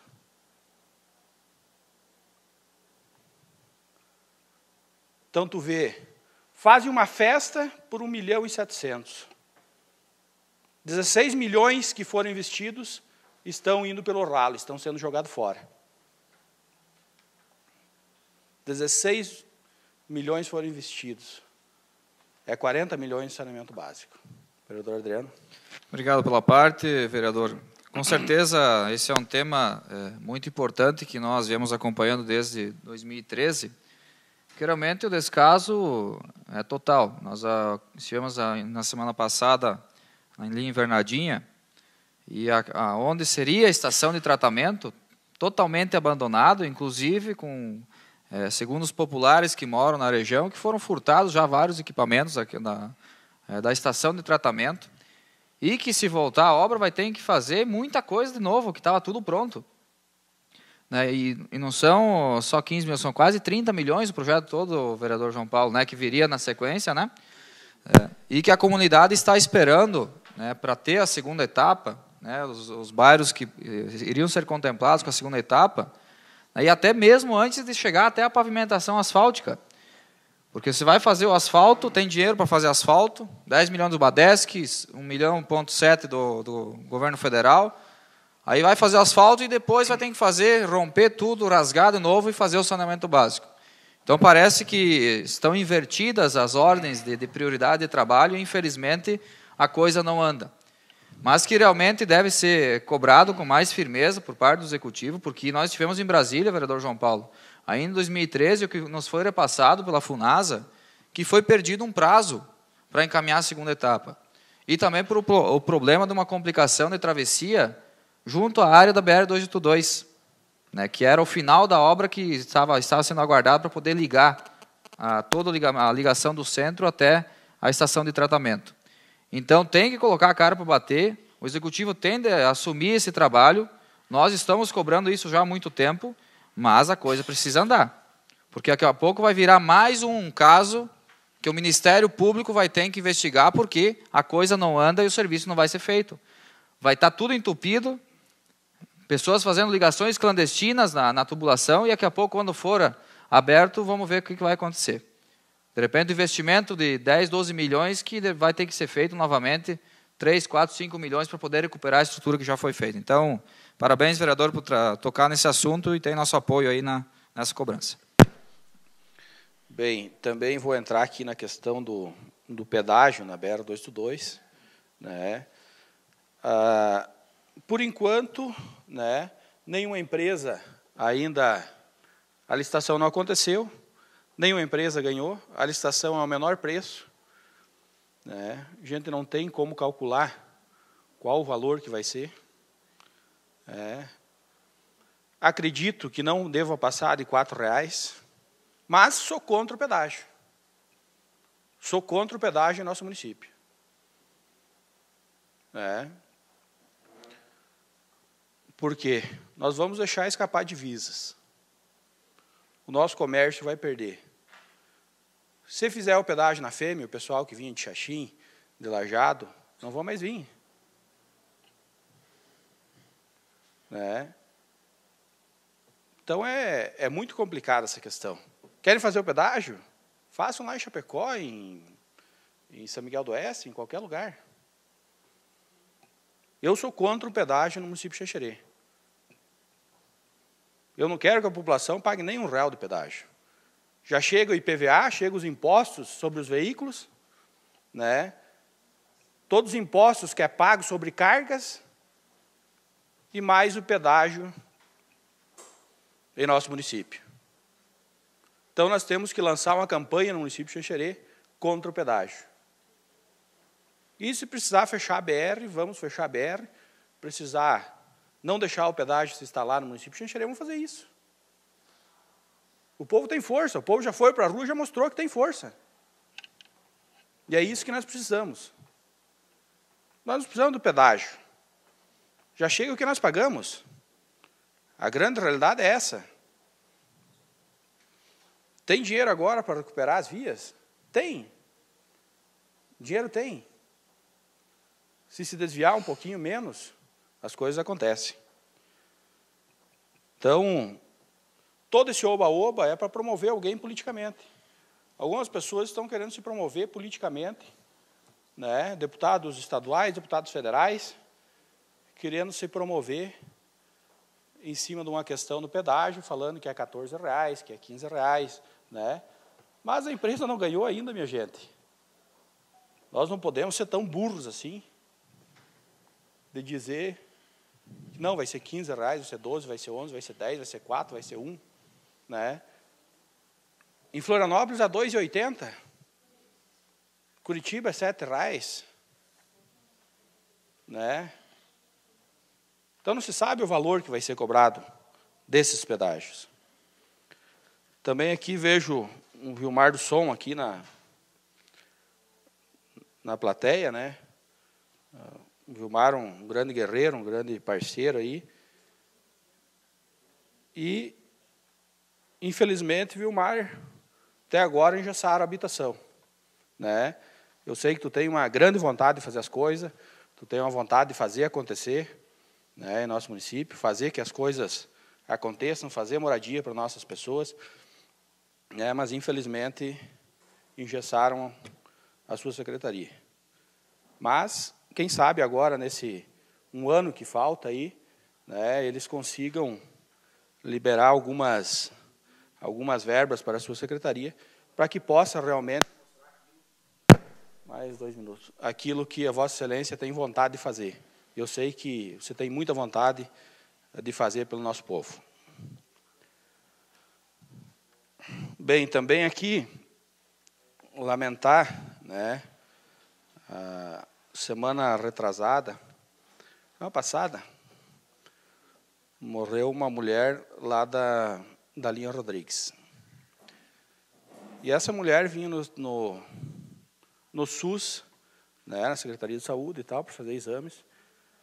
Mais de um ano, né, ela vindo toda semana para fazer exames e tal, e esses exames não eram liberados. E vinha diariamente. Na semana retrasada, ela foi internada e acabou falecendo. Né? Por falta de diagnóstico, por falta dos exames que eram para ser feitos, que não foram feitos. Há mais de um ano ela batendo na porta do, do, da Secretaria de Saúde do nosso município. Mais de um ano. Coitadinha pobre, sem condições. E, infelizmente, é isso que acontece. Se tu tiver que bater na porta da Secretaria de Saúde do SUS, a coisa é muito complicada. E muita gente padece. Muita gente, não é pouca. É muita gente no nosso município. Então, quero deixar essa lamentação, né? E dizer que se dê prioridade, né? Para as pessoas que realmente têm sua situação complicada. Que nós precisamos, porque uma dor de garganta, uma gripe, você resolve fácil, um comprimido, dois. Mas as pessoas que, que estão com complicações de saúde graves, essas têm que ser atendidas imediatamente. E isso, infelizmente, não está não tá acontecendo no nosso município. Muito obrigado. Fim do momento da palavra livre, passamos para o momento da presidência. É, gostaria de ler aqui o ofício do vereador licenciado Flávio Filap. A Câmara de Vereadores de Xanxerê, Santa Catarina. Prezados senhores, Venho pelo presente solicitar prorrogação para mais 15 dias da licença que me foi concedida através da resolução WMS 10 de 2015. Desta forma, o suplente de vereador Renato Muniz da Silva deverá permanecer investido no cargo até meu retorno. Sem mais para o momento, agradeço a atenção. Flávio Filap, vereador do PPS. Também gostaria de ler e colocar em votação pedido de autorização para despesas de viagem dos vereadores Wilson Martins e Fernando Calvas. Wilson Martins dos Santos vem requerer autorização para pagamento de despesas de viagens na Florianópolis nos dias 5 a 7 de agosto de 2015, quando participará da reunião no dia 5 de agosto com o senhor Enori Barbieri, na SIDASC, o senhor Marcir Sopelsa, na Secretaria de Agricultura, e com o senhor Júlio Bodanese, na SC Rural, e visitará alguns deputados na LESC. No dia 6 de agosto, visitará o DEINFRA, o DETRAN, e o secretário de Estado de Administração, o senhor Paulo Roberto Coelho.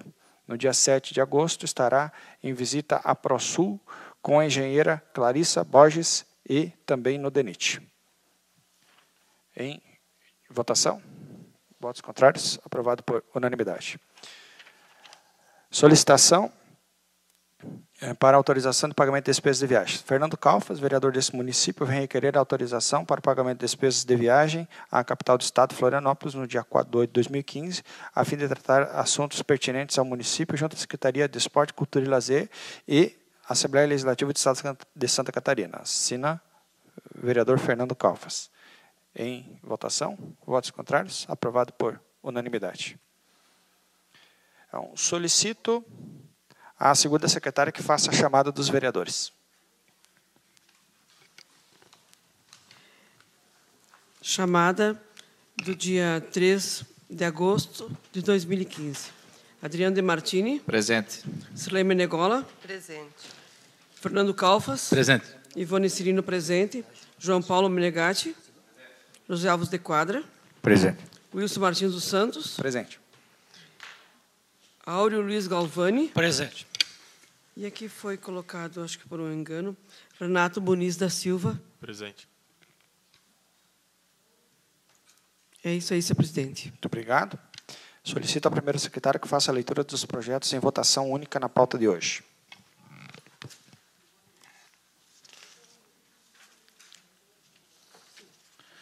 Projetos em votação única. Substitutivo ao projeto de lei número 009/2015 do vereador Adriano Martini, que estabelece limites para o plantio de árvores exóticas e outras árvores de grande porte junto à rede de distribuição de energia elétrica e da outras providências. Em discussão, vereador. Ah, Conforme eh, na hora da palavra livre, eh, a proposta que a gente tem aqui, eh, senhor presidente, também ao vereador Adriano de Martini, é que seja incluído ou mais um item, ou no próprio item de número um, eh, redes de distribuição e transmissão de energia elétrica no município de Xanxerê.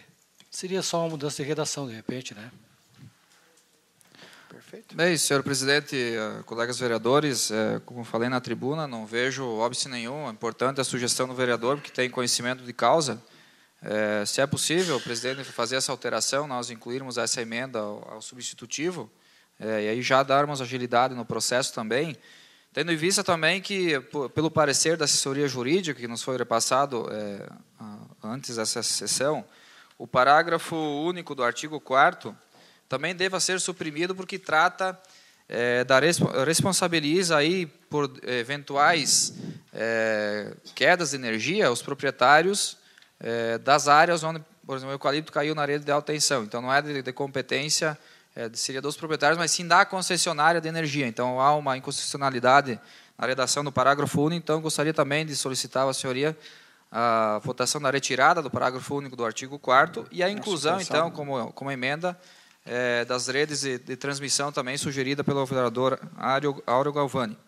E no mais também, como já falei na tribuna, é, o projeto já vem agora com as penalidades que foram sugeridas aqui, inclusive o vereador Biazus, que não está, é, que levantou esse debate, e que realmente vai se tornar efetivo o acompanhamento também através da Secretaria de Políticas Ambientais do nosso município, e que com certeza quem vai ganhar é a população, com a melhoria na qualidade da transmissão aí da energia elétrica, com menos quedas, é, se é o que realmente vai acontecer. É claro que para a retirada das árvores que já estão nesse, nessa faixa de domínio de 20 metros a partir do eixo central, vai se ter um tempo, não vai ser de uma hora para outra, né? Mas que as pessoas possam, depois de sancionada essa lei, possam procurar a Secretaria de Políticas Ambientais e, se precisar licença, vai ser expedida e vai se dar um prazo na Secretaria para poder fazer a retirada das árvores é, para solucionar esse problema. Então, peço apoio aos colegas vereadores é, e mais essa importante matéria que estamos discutindo aqui é, nessa noite. Vereador, só para contribuir na, na, na, discussão e esclarecer aos colegas vereadores, então, o parágrafo único do, do, do artigo 4 ele diz o seguinte, o desrespeito à presente lei acarretará aos responsáveis o pagamento por todo e qualquer dano que ocorrer, seja por queda ou por outro problema ocasionado pela árvore. É, só para esclarecer, o, o, o, desrespeito aqui, ele já impõe, a, tem a, a lei 12.000, 651 de 2012, ela já prevê, no, no, no, aspecto federal, a responsabilidade objetiva da, da empresa concessionária de energia. Então, objetivamente, a lei já obriga a empresa concessionária a fazer a manutenção. Então, não vai deixar a árvore ou a vegetação chegar naquele porte. Né? Eu até acredito que poderia permanecer, porque é, é a é a interpretação da lei, porque o responsável pelo crescimento da árvore vai ser a empresa concessionária. Nós não estamos dizendo que vai ser a pessoa que plantou, e sim quem deixou cair. E quem deixou cair foi a empresa que não, não, não se responsabilizou. Né? Então, aqui nós estaríamos criando, eventualmente, a responsabilidade em nível municipal, né, pela inobservância da empresa concessionária que deixar de fazer a, a verificação e a, e a roçada necessária. Então, na minha opinião, até poderia permanecer. Eu... Até mesmo porque as empresas fazem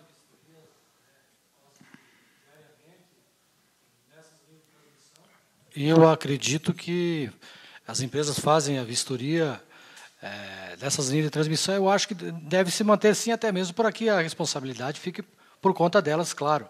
Né?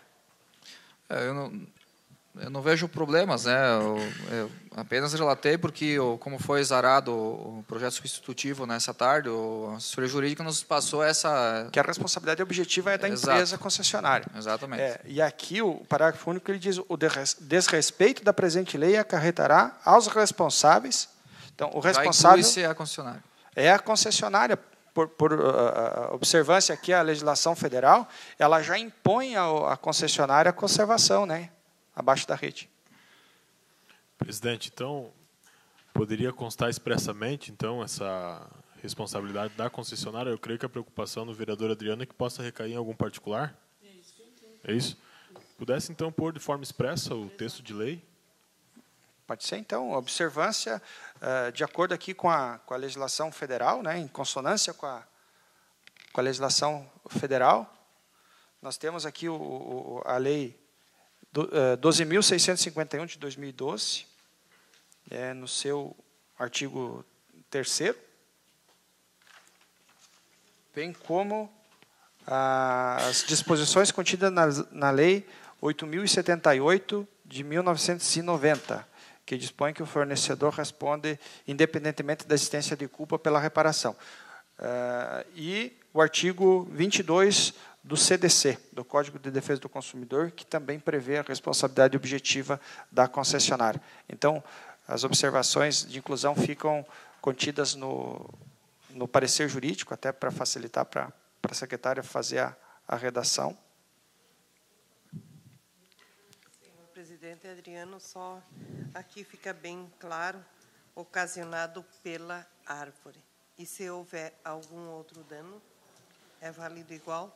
Mas é por conta de vegetação, né? É, porque o, o, objetivo do projeto de lei, ele trata da questão das árvores, né? Então, é justamente nesse foco, né? Outros danos aí não competem a essa, essa, esse projeto de lei, essa legislação.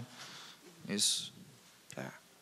Então, em, em, votação, as emendas sugeridas, então, pelo vereador Áureo Galvani, no que tange a, a redes de transmissão. transmissão e a questão do parágrafo único do artigo 4 onde inclui o respeito à legislação federal. Lei 12.651 de 2012, em seu artigo 3 a Lei 12.651 de 2012, em seu artigo 4 a Lei 8.078 de 1990, em seu artigo 14 e o Código de Defesa do Consumidor, em seu artigo 22. Em votação, as inclusões, votos contrários, aprovado por unanimidade. Agora, em votação, o projeto substitutivo. Votos contrários, aprovado por unanimidade. Então, solicito ao primeiro secretário que faça a leitura dos projetos em Segunda votação na pauta de hoje. Projetos em segunda votação. Projeto de Lei AJG 029-2015, que autoriza o Poder Executivo Municipal a receber por doação imóvel rural e da outras providências. Em votação. Votos contrários? Aprovado por unanimidade. Solicito ao primeiro secretário que faça a leitura dos projetos de lei em primeira votação na pauta de hoje. Projetos em primeira votação. Projeto de lei número 006/2015 da autoria do vereador Fernando Calvas, que institui no município de Xanxerê o projeto Casa Acolhedora para mulheres vítimas de violência doméstica e da outras providências. Em discussão? Vereador Fernando. Senhor presidente, senhores vereadores, senhoras vereadoras, como não utilizei da tribuna, senhor presidente, quero de forma bem breve saudar o nosso colega Cook, que retorna aos trabalhos desse parlamento. Seja novamente bem-vindo, Cook, né?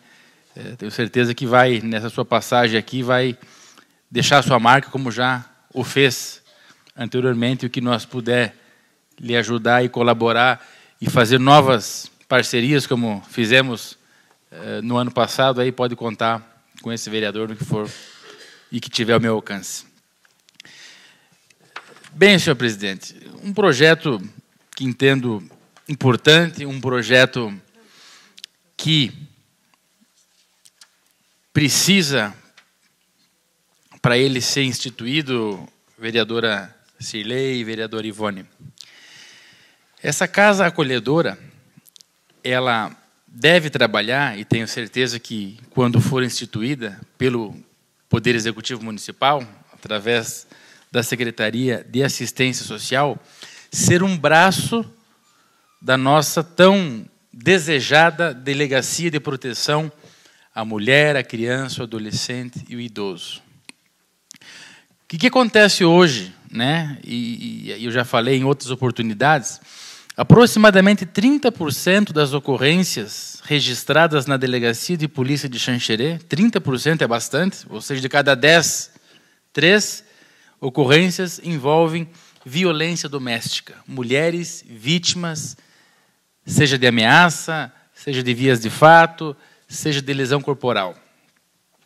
Então, essa mulher né, chega na delegacia, vereador Té, de madrugada, geralmente apanha de homem bêbado, essa é a nossa realidade aqui, nos finais de semana, A delegacia de Xanxerê, sexta, sábado e domingo à noite, não tem. É batata, vereador Ivone. Vai aparecer ocorrência, vai aparecer é, crimes em flagrante envolvendo aí mulheres vítimas de covardes. Essas mulheres, na sua grande maioria, dependem economicamente do seu companheiro. E lá na delegacia, lá mesmo, quando ela se dá conta de que ela não tem aonde ir, ela não tem a quem se socorrer, ela acaba desistindo de representar criminalmente o agressor.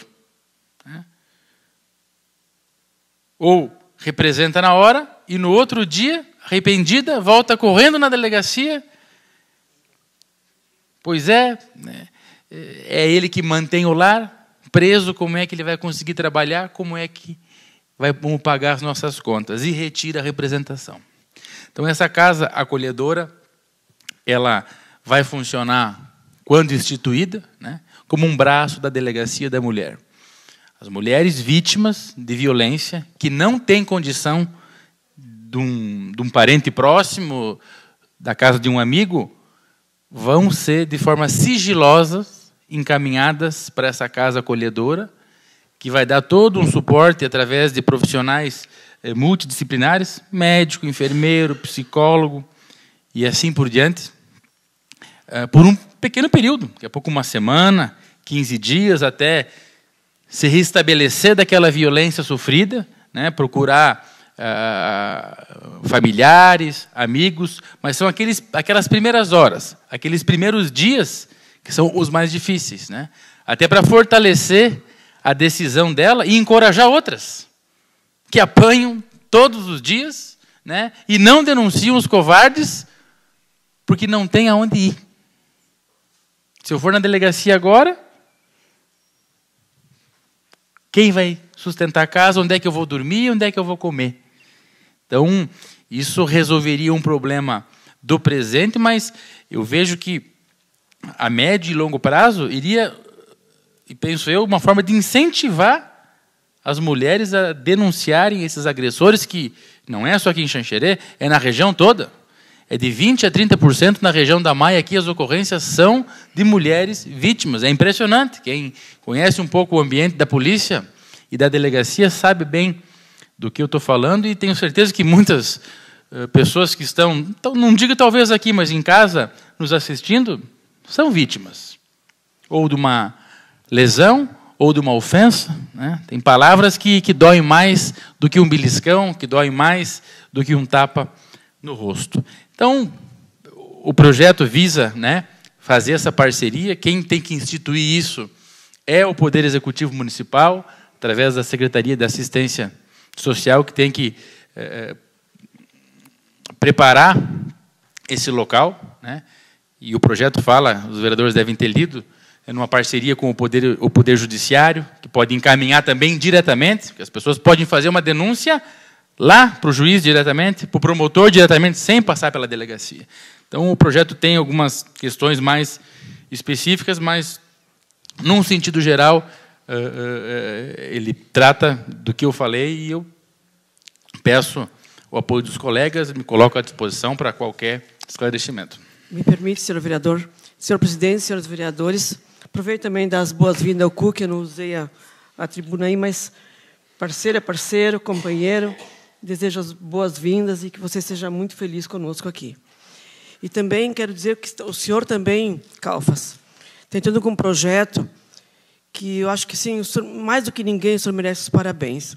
Porque culturalmente, infelizmente, a mulher sempre foi muito explorada. Isso não é culpa dos nossos homens, não culpo ninguém. Eu culpo simplesmente uma cultura, uma época. Hoje, graças a Deus, nós temos mais instrução, temos mais condições também profissionalmente nos defendermos. Mas tudo que o senhor falou é a mais triste realidade. Não é só a agressão física, mas a, a psicológica, a situação de muitas mães que não têm como sustentar seus filhos, se sujeitam. Isso é notório, 100% quase. Às vezes para manter as aparências, porque hoje, infelizmente, a mulher separada ou a mulher que fala do, da sua situação fica negligenciada, marginalizada. Mas o Senhor está, olha, está sendo aplaudido por todas as mulheres de Xanxerê. Porque hoje a mulher precisa não só de amor, carinho, mas respeito. Respeito. Porque muitas vezes a mulher se sujeita pelos seus filhos. O senhor disse tudo. O amor de mãe, às vezes, é incondicional. Mas olha, doutor, que o senhor seja muito feliz. Conte com a nossa parceria nessa lei. De todos os colegas, tenho certeza aqui também. Porque antes de serem maridos aqui, a maioria, a maioria não, todos são filhos.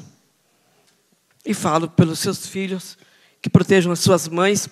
E quando olhem para as mulheres de todo o mundo, olhe, quando olharem para uma mulher, lembre de sua mãe, lembre de sua irmã, lembre da sua filha. Não lembre da mulher como um simples objeto. Parabéns, doutor Calvas. Vereador Adriano. Senhor presidente, colegas vereadores, é, primeiramente cumprimentar Calfas pelo, pela iniciativa, pelo projeto.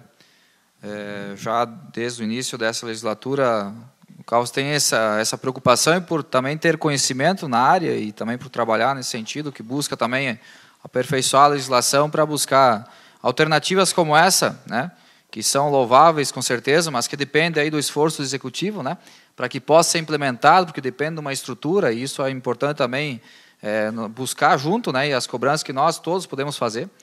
Mas para dialogar justamente nesse sentido, vereador, parabéns pelo projeto, mas gostaria que, é, como é que está a questão da delegacia da mulher, o encaminhamento desse processo, porque acho que é pertinente nesse momento, porque como a Casa Acolhedora, a Senhoria tem destacado aqui, a gente fez a, a leitura do projeto também, ela deve funcionar em sintonia né, com a delegacia. Então, é, se o senhor pudesse explicar como é que está esse, esse encaminhamento é, para a comunidade.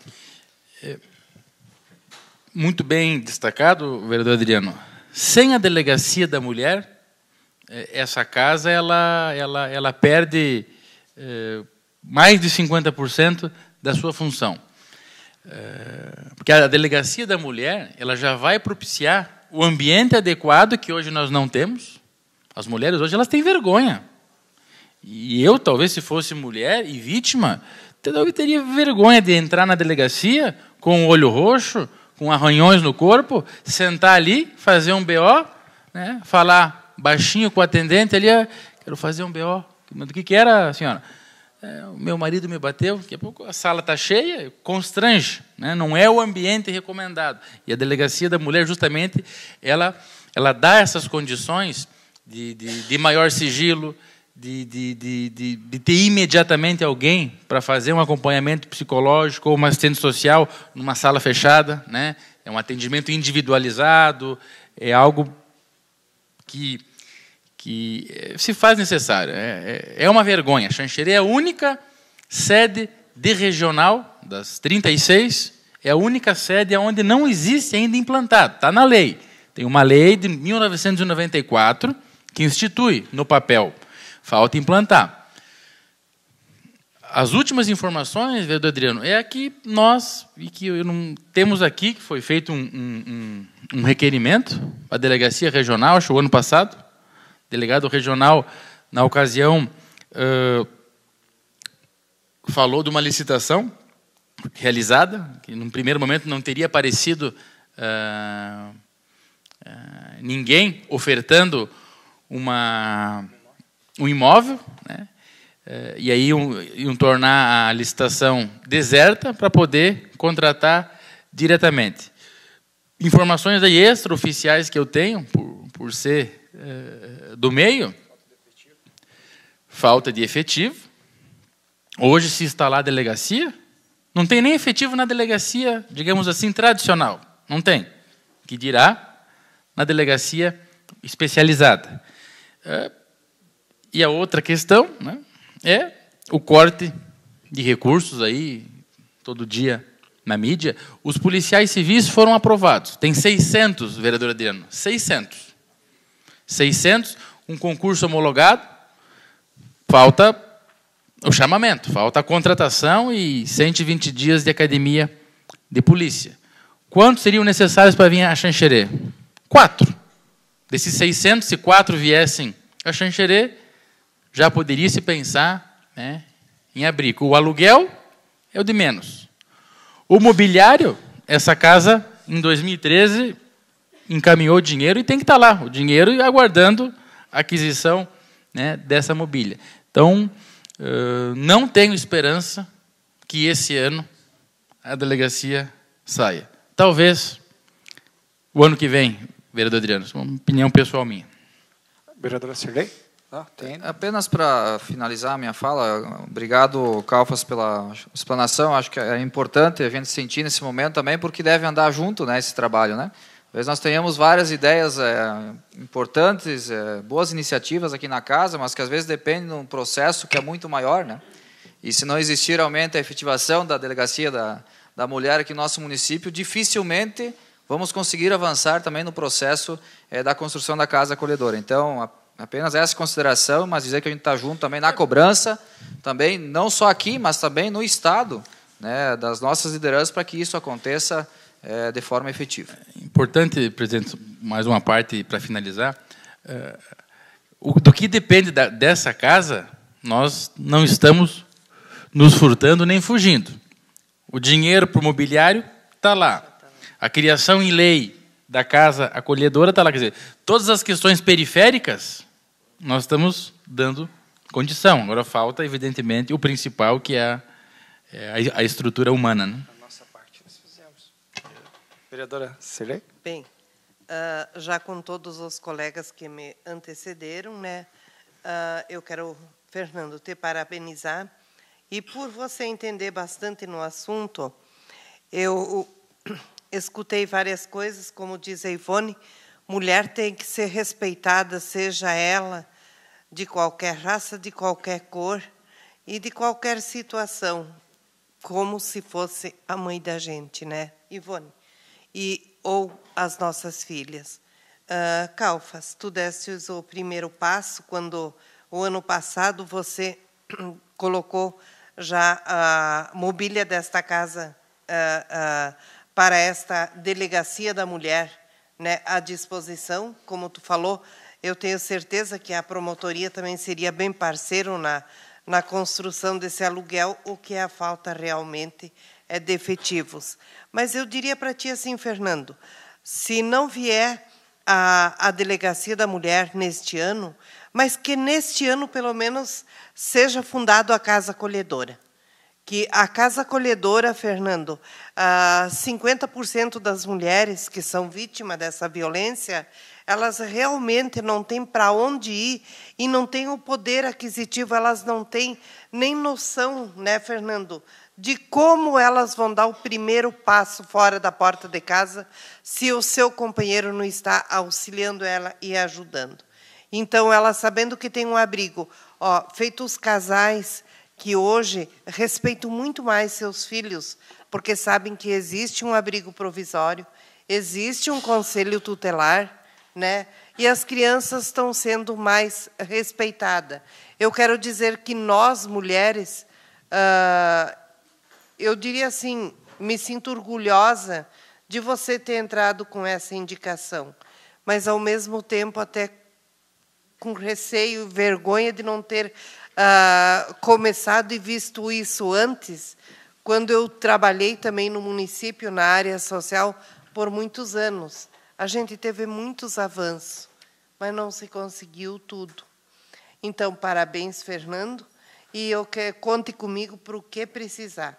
Eu tenho certeza, e todos nós aqui temos essa certeza, a quem está aqui também, a quem está nos ouvindo, de que se faz necessário essa casa acolhedora, porque quantas mães são vítimas de violência doméstica, Fernando, e elas não têm para onde ir, né?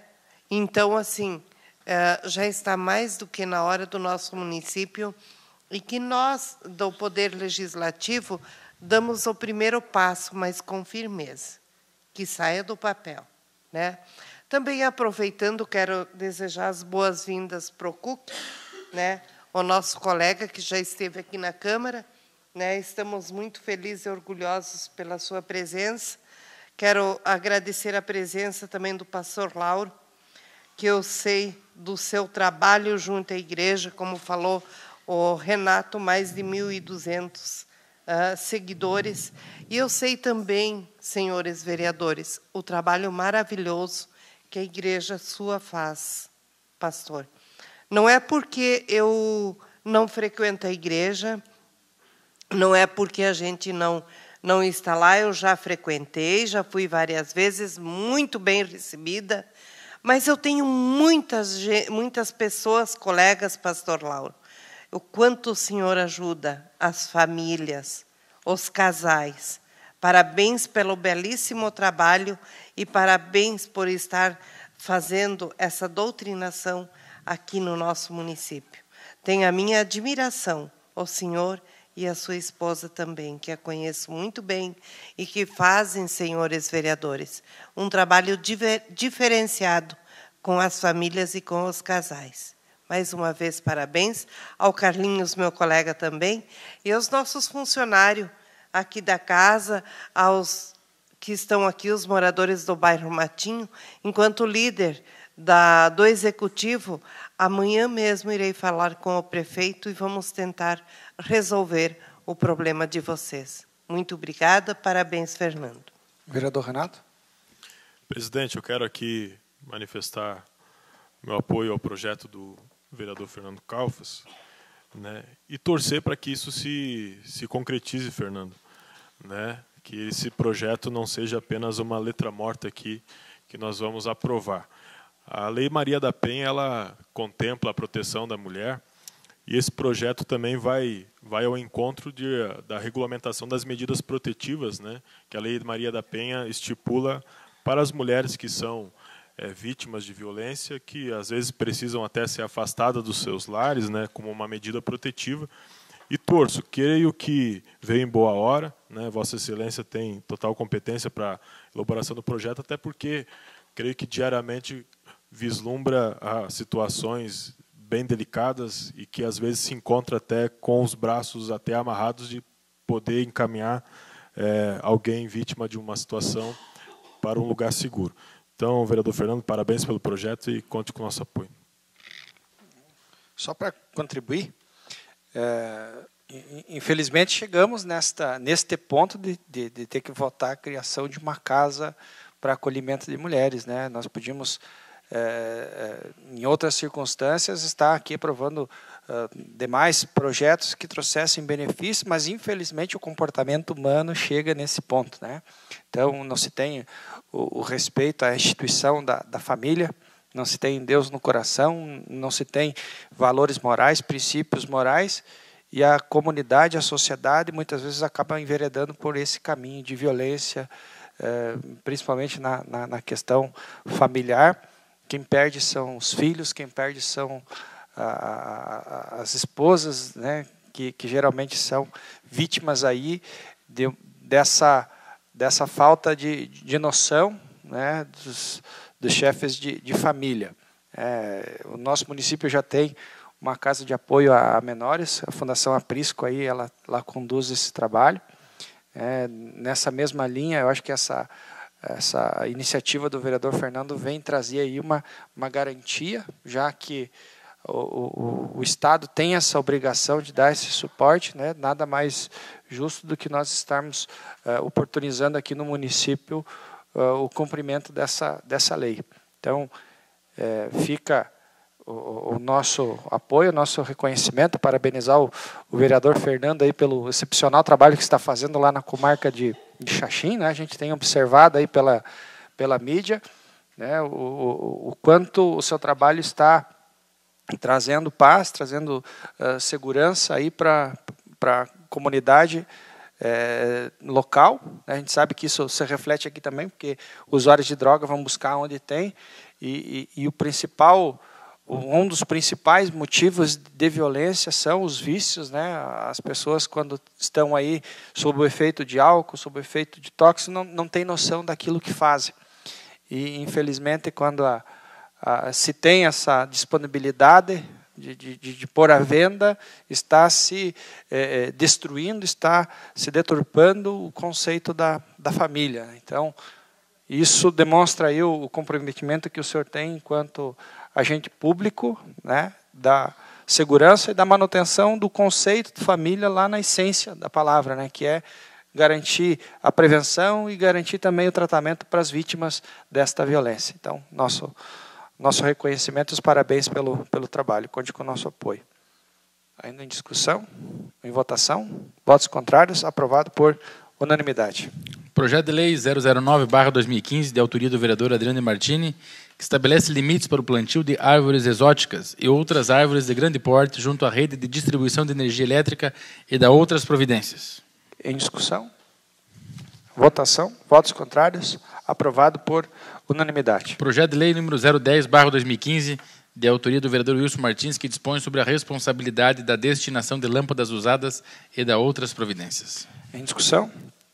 Colegas vereadores, só para justificar o motivo da nossa propositura, nós temos aí eh, a legislação federal, em especial a resolução do, do, CONAMA, que já estabelece alguns procedimentos de como é que deve ser feito aí a destinação desses resíduos, né? principalmente na questão de, de lâmpadas fluorescentes, que possuem na sua composição materiais químicos perigosos, aí que podem gerar danos à, à, à comunidade, eh, podem contaminar lençóis freáticos, solo.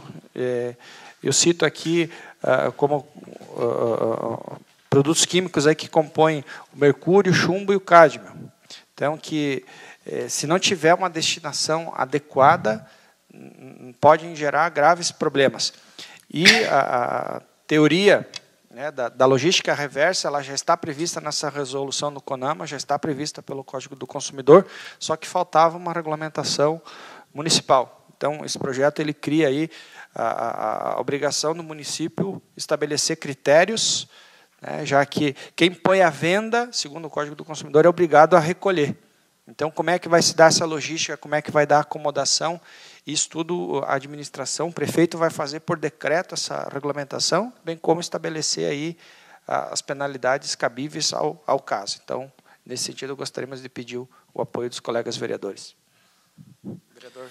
Bem, senhor presidente, colegas vereadores e a comunidade, é, primeiramente é muito importante essa iniciativa, porque justamente essa preocupação, presidente, é, de nós darmos o destino correto, principalmente a, esse, a esses materiais que têm produtos químicos pesados em sua composição, que estão hoje, não têm um local adequado, tendo em vista que a, a empresa a Continental, que fazia o recolhimento, que recebia, não está mais fazendo esse trabalho. Né? E ela destinava para uma outra Destinava para outra empresa. E tendo em vista também, é, por exemplo, pilhas. Né? Pilhas também é, tem componentes químicos pesados que também não, não têm essa destinação é, adequada. E justamente como a senhoria falava, é, existe desde 2010 a Política Nacional dos Resíduos Sólidos, né, que foi instituída, e nós aprovamos aqui, o mês passado, é o Plano Municipal da, de Resíduos Sólidos aqui no nosso município, que contempla a questão da logística reversa, justamente é, onde os fabricantes e os comerciantes, especialmente de lâmpadas e outros produtos, como é o caso de pilhas, pneus, óleos, é, produtos eletroeletrônicos, agrotóxicos, têm essa responsabilidade né, de, de encaminhar para os destinos adequados é, esses produtos. Né? No entanto, senhor presidente, eu não consegui, dentro do projeto aqui, sei que a sua intenção, o senhor explicou e está correta, mas o artigo 1 ele trata que o município é, fica obrigado a desenvolver meios, seja diretos ou terceirizados, para recolher e destinar adequadamente lâmpadas fluorescentes usadas. Talvez não ficou na expressão mais, mais adequada, porque o município é, ele não pode ter a responsabilidade, que é uma responsabilidade da, da logística reversa, que é do, dos fabricantes. Né? Então, se Vossa Senhoria, senhor presidente, uh, me der essa, essa oportunidade, gostaria de pedir vistas ao projeto e, junto com Vossa Senhoria, construir só para adequar essa questão e incluir, repente, a questão das pilhas também, para a próxima sessão voltar para a gente discutir. Sabemos que aí tem, uh, inclusive, tem até uma sugestão de um projeto de lei para o município regulamentar aí com as sanções, e, se Vossa Senhoria entender, também podemos até encaminhar como anexo para o Executivo, é, para depois discutir e ele encaminhar como decreto né, a regulamentação. Só para contribuir, eu, eu, já estive em, em conversa com a, com a, nova secretária de, de, Meio Ambiente do município e, e, o, e, o, decreto que vai regulamentar isso aqui já é bem, bem extenso. Então, ele já contempla, de, de repente, se o, se o, vereador quisesse ter essa, esse contato também com a, com a secretária para já verificar a regulamentação que, Eu- que, que já dispõe. Não sei se o vereador Eu falei já... com ela hoje, inclusive, e aí, inclusive, eu falei que iria sugerir para a senhoria isso e para nós construir junto, de uma forma efetiva, algo que realmente a lei está contemple. correta, só que para dar uma amadurecida, incrementar algumas. É, po- po- pode ser, se o vereador quiser pedir vista, tá. Isso. Eu peço vistas aí na próxima sessão, nós já sentamos amanhã mesmo, a gente já faz os encaminhamentos aí da- das emendas. Perfeito. Então, retirado de pauta por conta do pedido de vistas. Então, solicito ao primeiro secretário que faça. Tem as moções, eh, moções verbais aqui, né? Primeira do vereador Renato, senhor presidente. Moção de congratulações, né? Gostaria de. Propus a moção de tribuna em reconhecimento ao trabalho do pastor Lauro João Atanásio dos Santos e da sua esposa Olinda dos Santos, que é o presidente da Igreja Assembleia de Deus aqui de Xanxerê e toda, e toda a região que pertence ao município. Pelos 33 anos de ministério pastoral que o pastor Lauro tem, tem prestado de forma voluntária e trabalhado eh, em nossa cidade, são exatamente 15, 16 anos já, né, pastor? Vai para 16 anos, vai para 17. Então, apenas para parabenizá-lo e o reconhecimento da Câmara de Vereadores através de um ofício parabenizando o pastor e a sua esposa pelo trabalho prestado. Em discussão? Vereador Ivan? Senhor presidente, senhores vereadores, se o vereador me permitisse, eu também queria me subscrever junto nessa moção, que muito me orgulha e me dá satisfação, reconhecimento por tudo que o, senhor, que o pastor Lauro tem feito. A gente reconhece. Até eu acredito que se houvesse mais igrejas e pessoas que nem o senhor, nós não precisássemos de uma delegacia de mulher, talvez não precisássemos de uma casa para acolher as pessoas que precisam. Nós precisamos de amor, de religião, e o senhor passa isso para as pessoas. Parabéns, e parabéns a você que entrou com essa indicação. Ainda em discussão? Vereadora Sirlei? Bem, eu vou fazer a parte da Ivone também, vou pedir ao Renato para me juntar a essa moção, muito bem merecida, pastor Lauro. E eu até pediria, Renato, que todos nós, vereadores, assinássemos essa moção para o pastor Lauro, porque é merecido. Transformamos em coletiva, presidente. Coletiva, Todos os vereadores parabenizando o pastor Lauro. Isso. Em, ainda em discussão? Em, votação? Votos contrários? Aprovado por unanimidade. Tem um- uma moção Isso. verbal do vereador.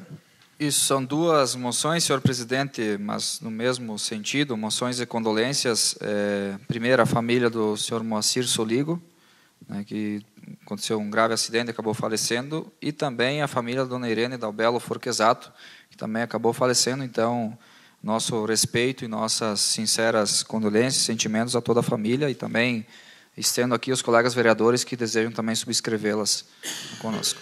Então, se transformam também em coletivas. Concordo. Obrigada, Adriana.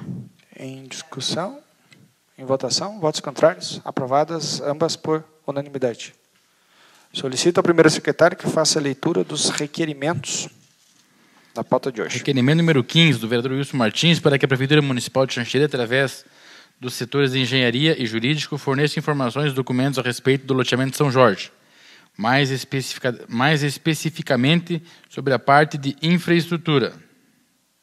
Deseja-se saber se o citado loteamento está de acordo com a legislação vigente.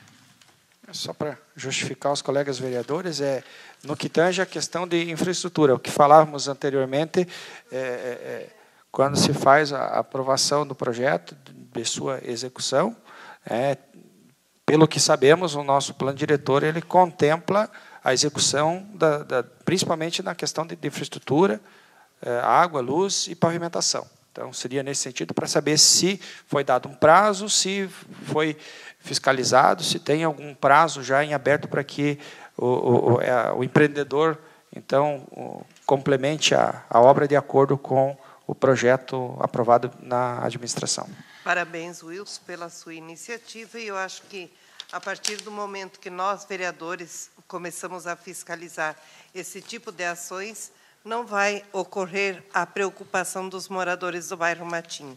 Quando eu questionei antes a, a empresa que construiu o residencial Aparecida, se ele não constava, eles eram obrigados à infraestrutura com rua, luz, calçamento, né, Wilson? Através do plano diretor do município, senão não poderia ter construído.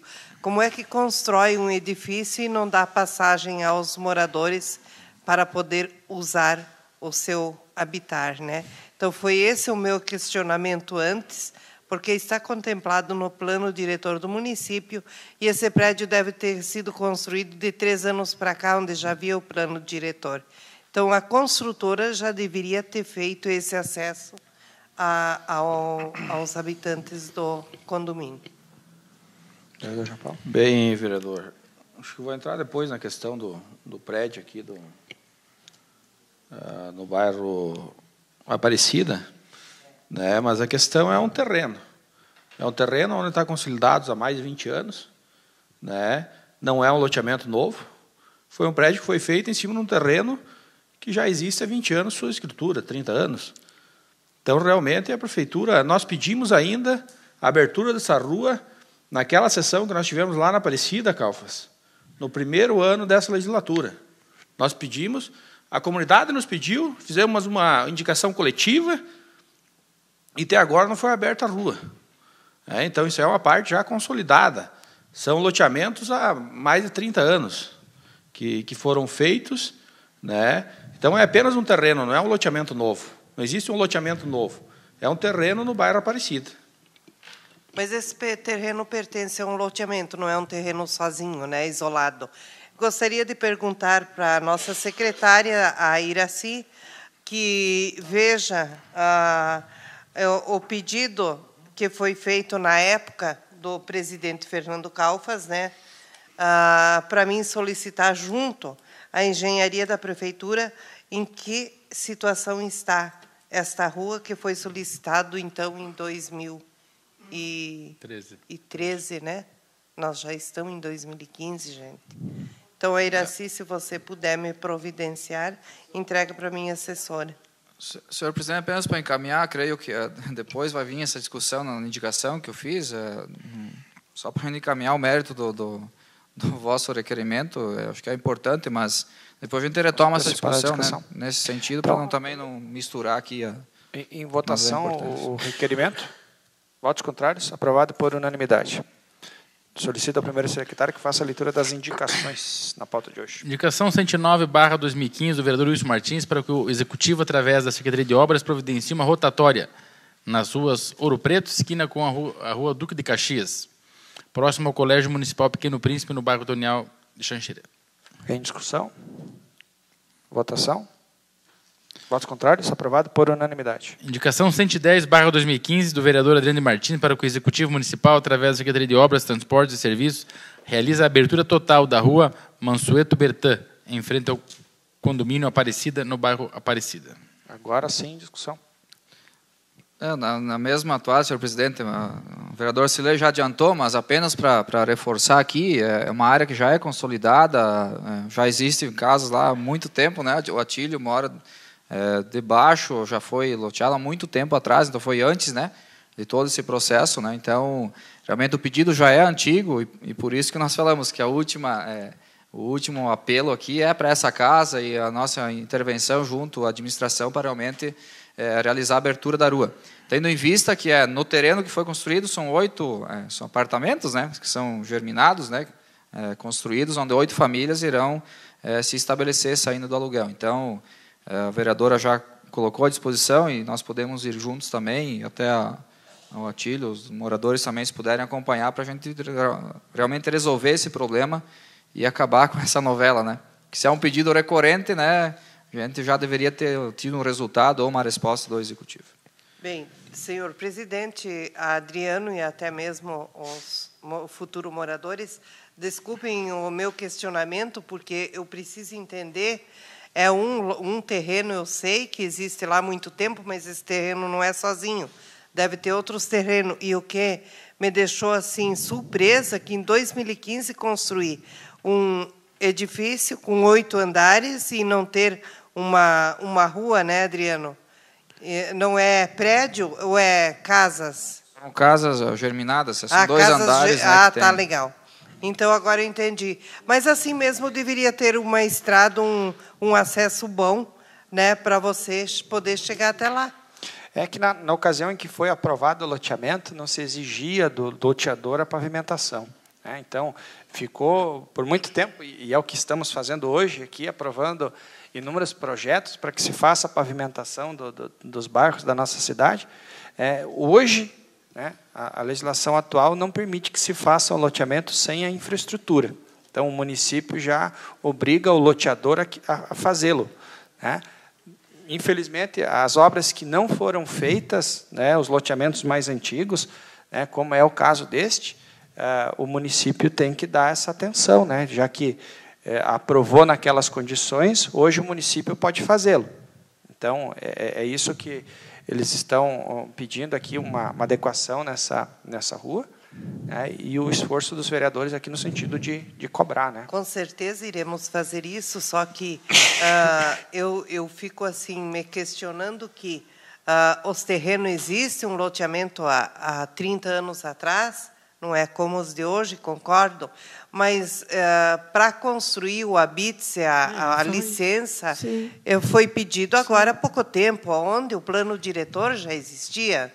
E como é que o município não abre a estrada? É, é, fica difícil para um leigo entender que construíram e o município não deu a, a, as condições, né? Acessibilidade. Acessibilidade para. Obrigada. Vereador, vereador Ivone? É, só também, é, também falando mesmo que a Cirlei, cadê o Abitse? Cadê a energia elétrica? A Iguaçu é tão, é tão enfática, é tão exigente em relação à colocação do medidor. Como é que pode, sem ter rua? E simplesmente isso não não não não está certo, está tudo errado. Isso aí não existe. Isso é coisa do outro mundo. Daqui uns dias veio a IPTU e os caras nem estão morando lá. Me desculpe a franqueza, mas isso não existe. É o Abitse já foi concedido? Não, o Abitse não, não sei se há ainda, mas tem já o Abitse, já tem ligação de energia, tudo. É apenas a abertura, né, ainda não quer nem a, nem a pavimentação, da, por enquanto, né? apenas é nivelar, abrir a rua para dar o acesso. Só Deixão mesmo por hora, claro, futuramente pavimentação asfáltica, mas é pouca coisa, é uma quadra, é um espaço de uma quadra só. Né? Então, é. mas é para reforçar, então, acho que é importante, a comunidade está aqui, os moradores, então a gente aqui também vai fazer essa, essa comissão e vamos fazer essa cobrança efetiva ao Executivo. Obrigado. Em votação, votos contrários, aprovado por unanimidade. Indicação 111, barra 2015, do vereador Wilson Martins, para que o Executivo, através do setor competente, promova, promova a pavimentação nas ruas do bairro Vila Sésamo que carecem de melhorias. É, essa esse pleito, na verdade, vem por conta dos moradores que residem lá naquela localidade, que viram algumas ruas do bairro serem pavimentadas e as que não receberam pavimento estão numa condição deplorável, né? É exemplo de que ocorre aí na, na maioria da cidade. Então, o pleito deles é que é, parte daquele recurso que foi obtido agora aí desse 1 milhão e 700 seja aplicado lá então como pavimentação. É, em, em discussão? Em votação? Votos contrários, aprovado por unanimidade.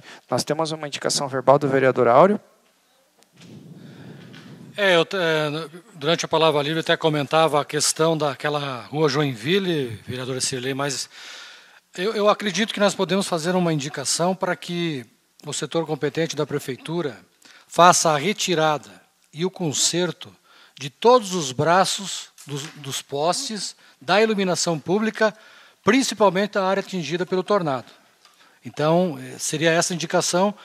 Isso. Nessa questão, é, até mesmo a questão de estética, a questão de segurança, é, porque aqueles moradores estão sem a iluminação pública, então por isso mesmo acho que a indicação seria que fossem retirados aqueles que têm conserto, consertados em toda a área atingida pelo tornado.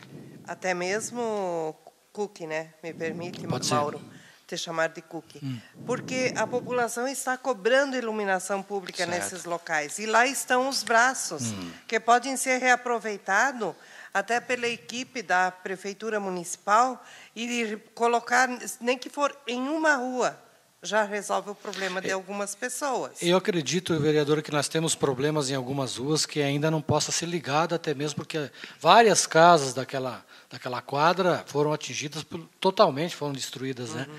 Então não se liga as casas, não se pode ligar a iluminação Não, pública. né? em algumas ruas não, mas aonde já está todas Sim, as casas claro. tudo concluído, que esses braços sirvam para a iluminação que a população está tanto pedindo, né? Verdade. Então eu acredito que está de parabéns pela tua indicação e serviu até para um alerta para cobrar do executivo esse tipo de ação. Vereador Adriano. Senhor presidente, o colega vereador Áureo, é, importante proposição quanto da retirada, acho que é um, é um fato que nós não tínhamos nos atido ainda dentro de, dessa esfera, mas nas últimas sessões do mês de julho, nós já fizemos, um, inclusive, um, uma solicitação para que fosse feita toda a troca, da, e já foi feita duas, três vezes, moção. moção, e um requerimento solicitando informações do executivo que encaminhasse para essa casa informações de quanto estaria arrecadando de iluminação pública, tendo em vista que esse valor deveria ser aplicado no custeio e na manuten- na manutenção e no investimento, ou seja, trocar os braços e pagar a energia da iluminação pública, especialmente agora na área do tornado. E nós não recebemos a resposta, vereadora me né? Então, Não? é, a resposta não chegou ainda, então nós estamos esperando justamente é, é, se o valor realmente está dentro, se está sendo gasto todo com a iluminação, né, ou se não está, para tomarmos aí as medidas cabíveis a, e também as cobranças necessárias para que se restabeleça o quanto antes. Né? Então, uma, é uma é, reivindicação recorrente, mas tem o nosso apoio, com certeza vai auxiliar para a cobrança. Aí. Só para contribuir na conversa, semana passada conversava com, com o prefeito a respeito do, do assunto e pelos números, eu acho que eles já separaram o material para nos enviar a resposta, né, salvo ledo engano, é, é deficitário a, cobrança. A cobrança. É, se cobra em torno de 80 mil e, o- e os gastos mensais superam 200. Isso, foi Então- isso que ele me repassou também, Adriano, mas verbalmente. Eu vou solicitar isso por escrito para esta casa. Então, que o município a- está é, desembolsando. o que ele arrecada são 80 mil reais e, e o custo da energia é, passa de 200 mil. Então, ele disse que esse déficit ele não pode repassar para os consumidores, né? e que, que o que ele arrecada não chega por isso, que não foi feito, acho que é a mesma cobrança que eu fiz para ele, mas foi ver- verbal. Vou solicitar isso por escrito. Obrigado, Wilson. Então, em votação, é a indicação do, do vereador Áureo. Votos contrários? Aprovado por unanimidade. Então, tendo esgotado os assuntos da pauta de hoje, encerro o presente e marco a próxima para o dia 5 de agosto, às 18h30, nesta Casa Legislativa. Uma boa noite a todos.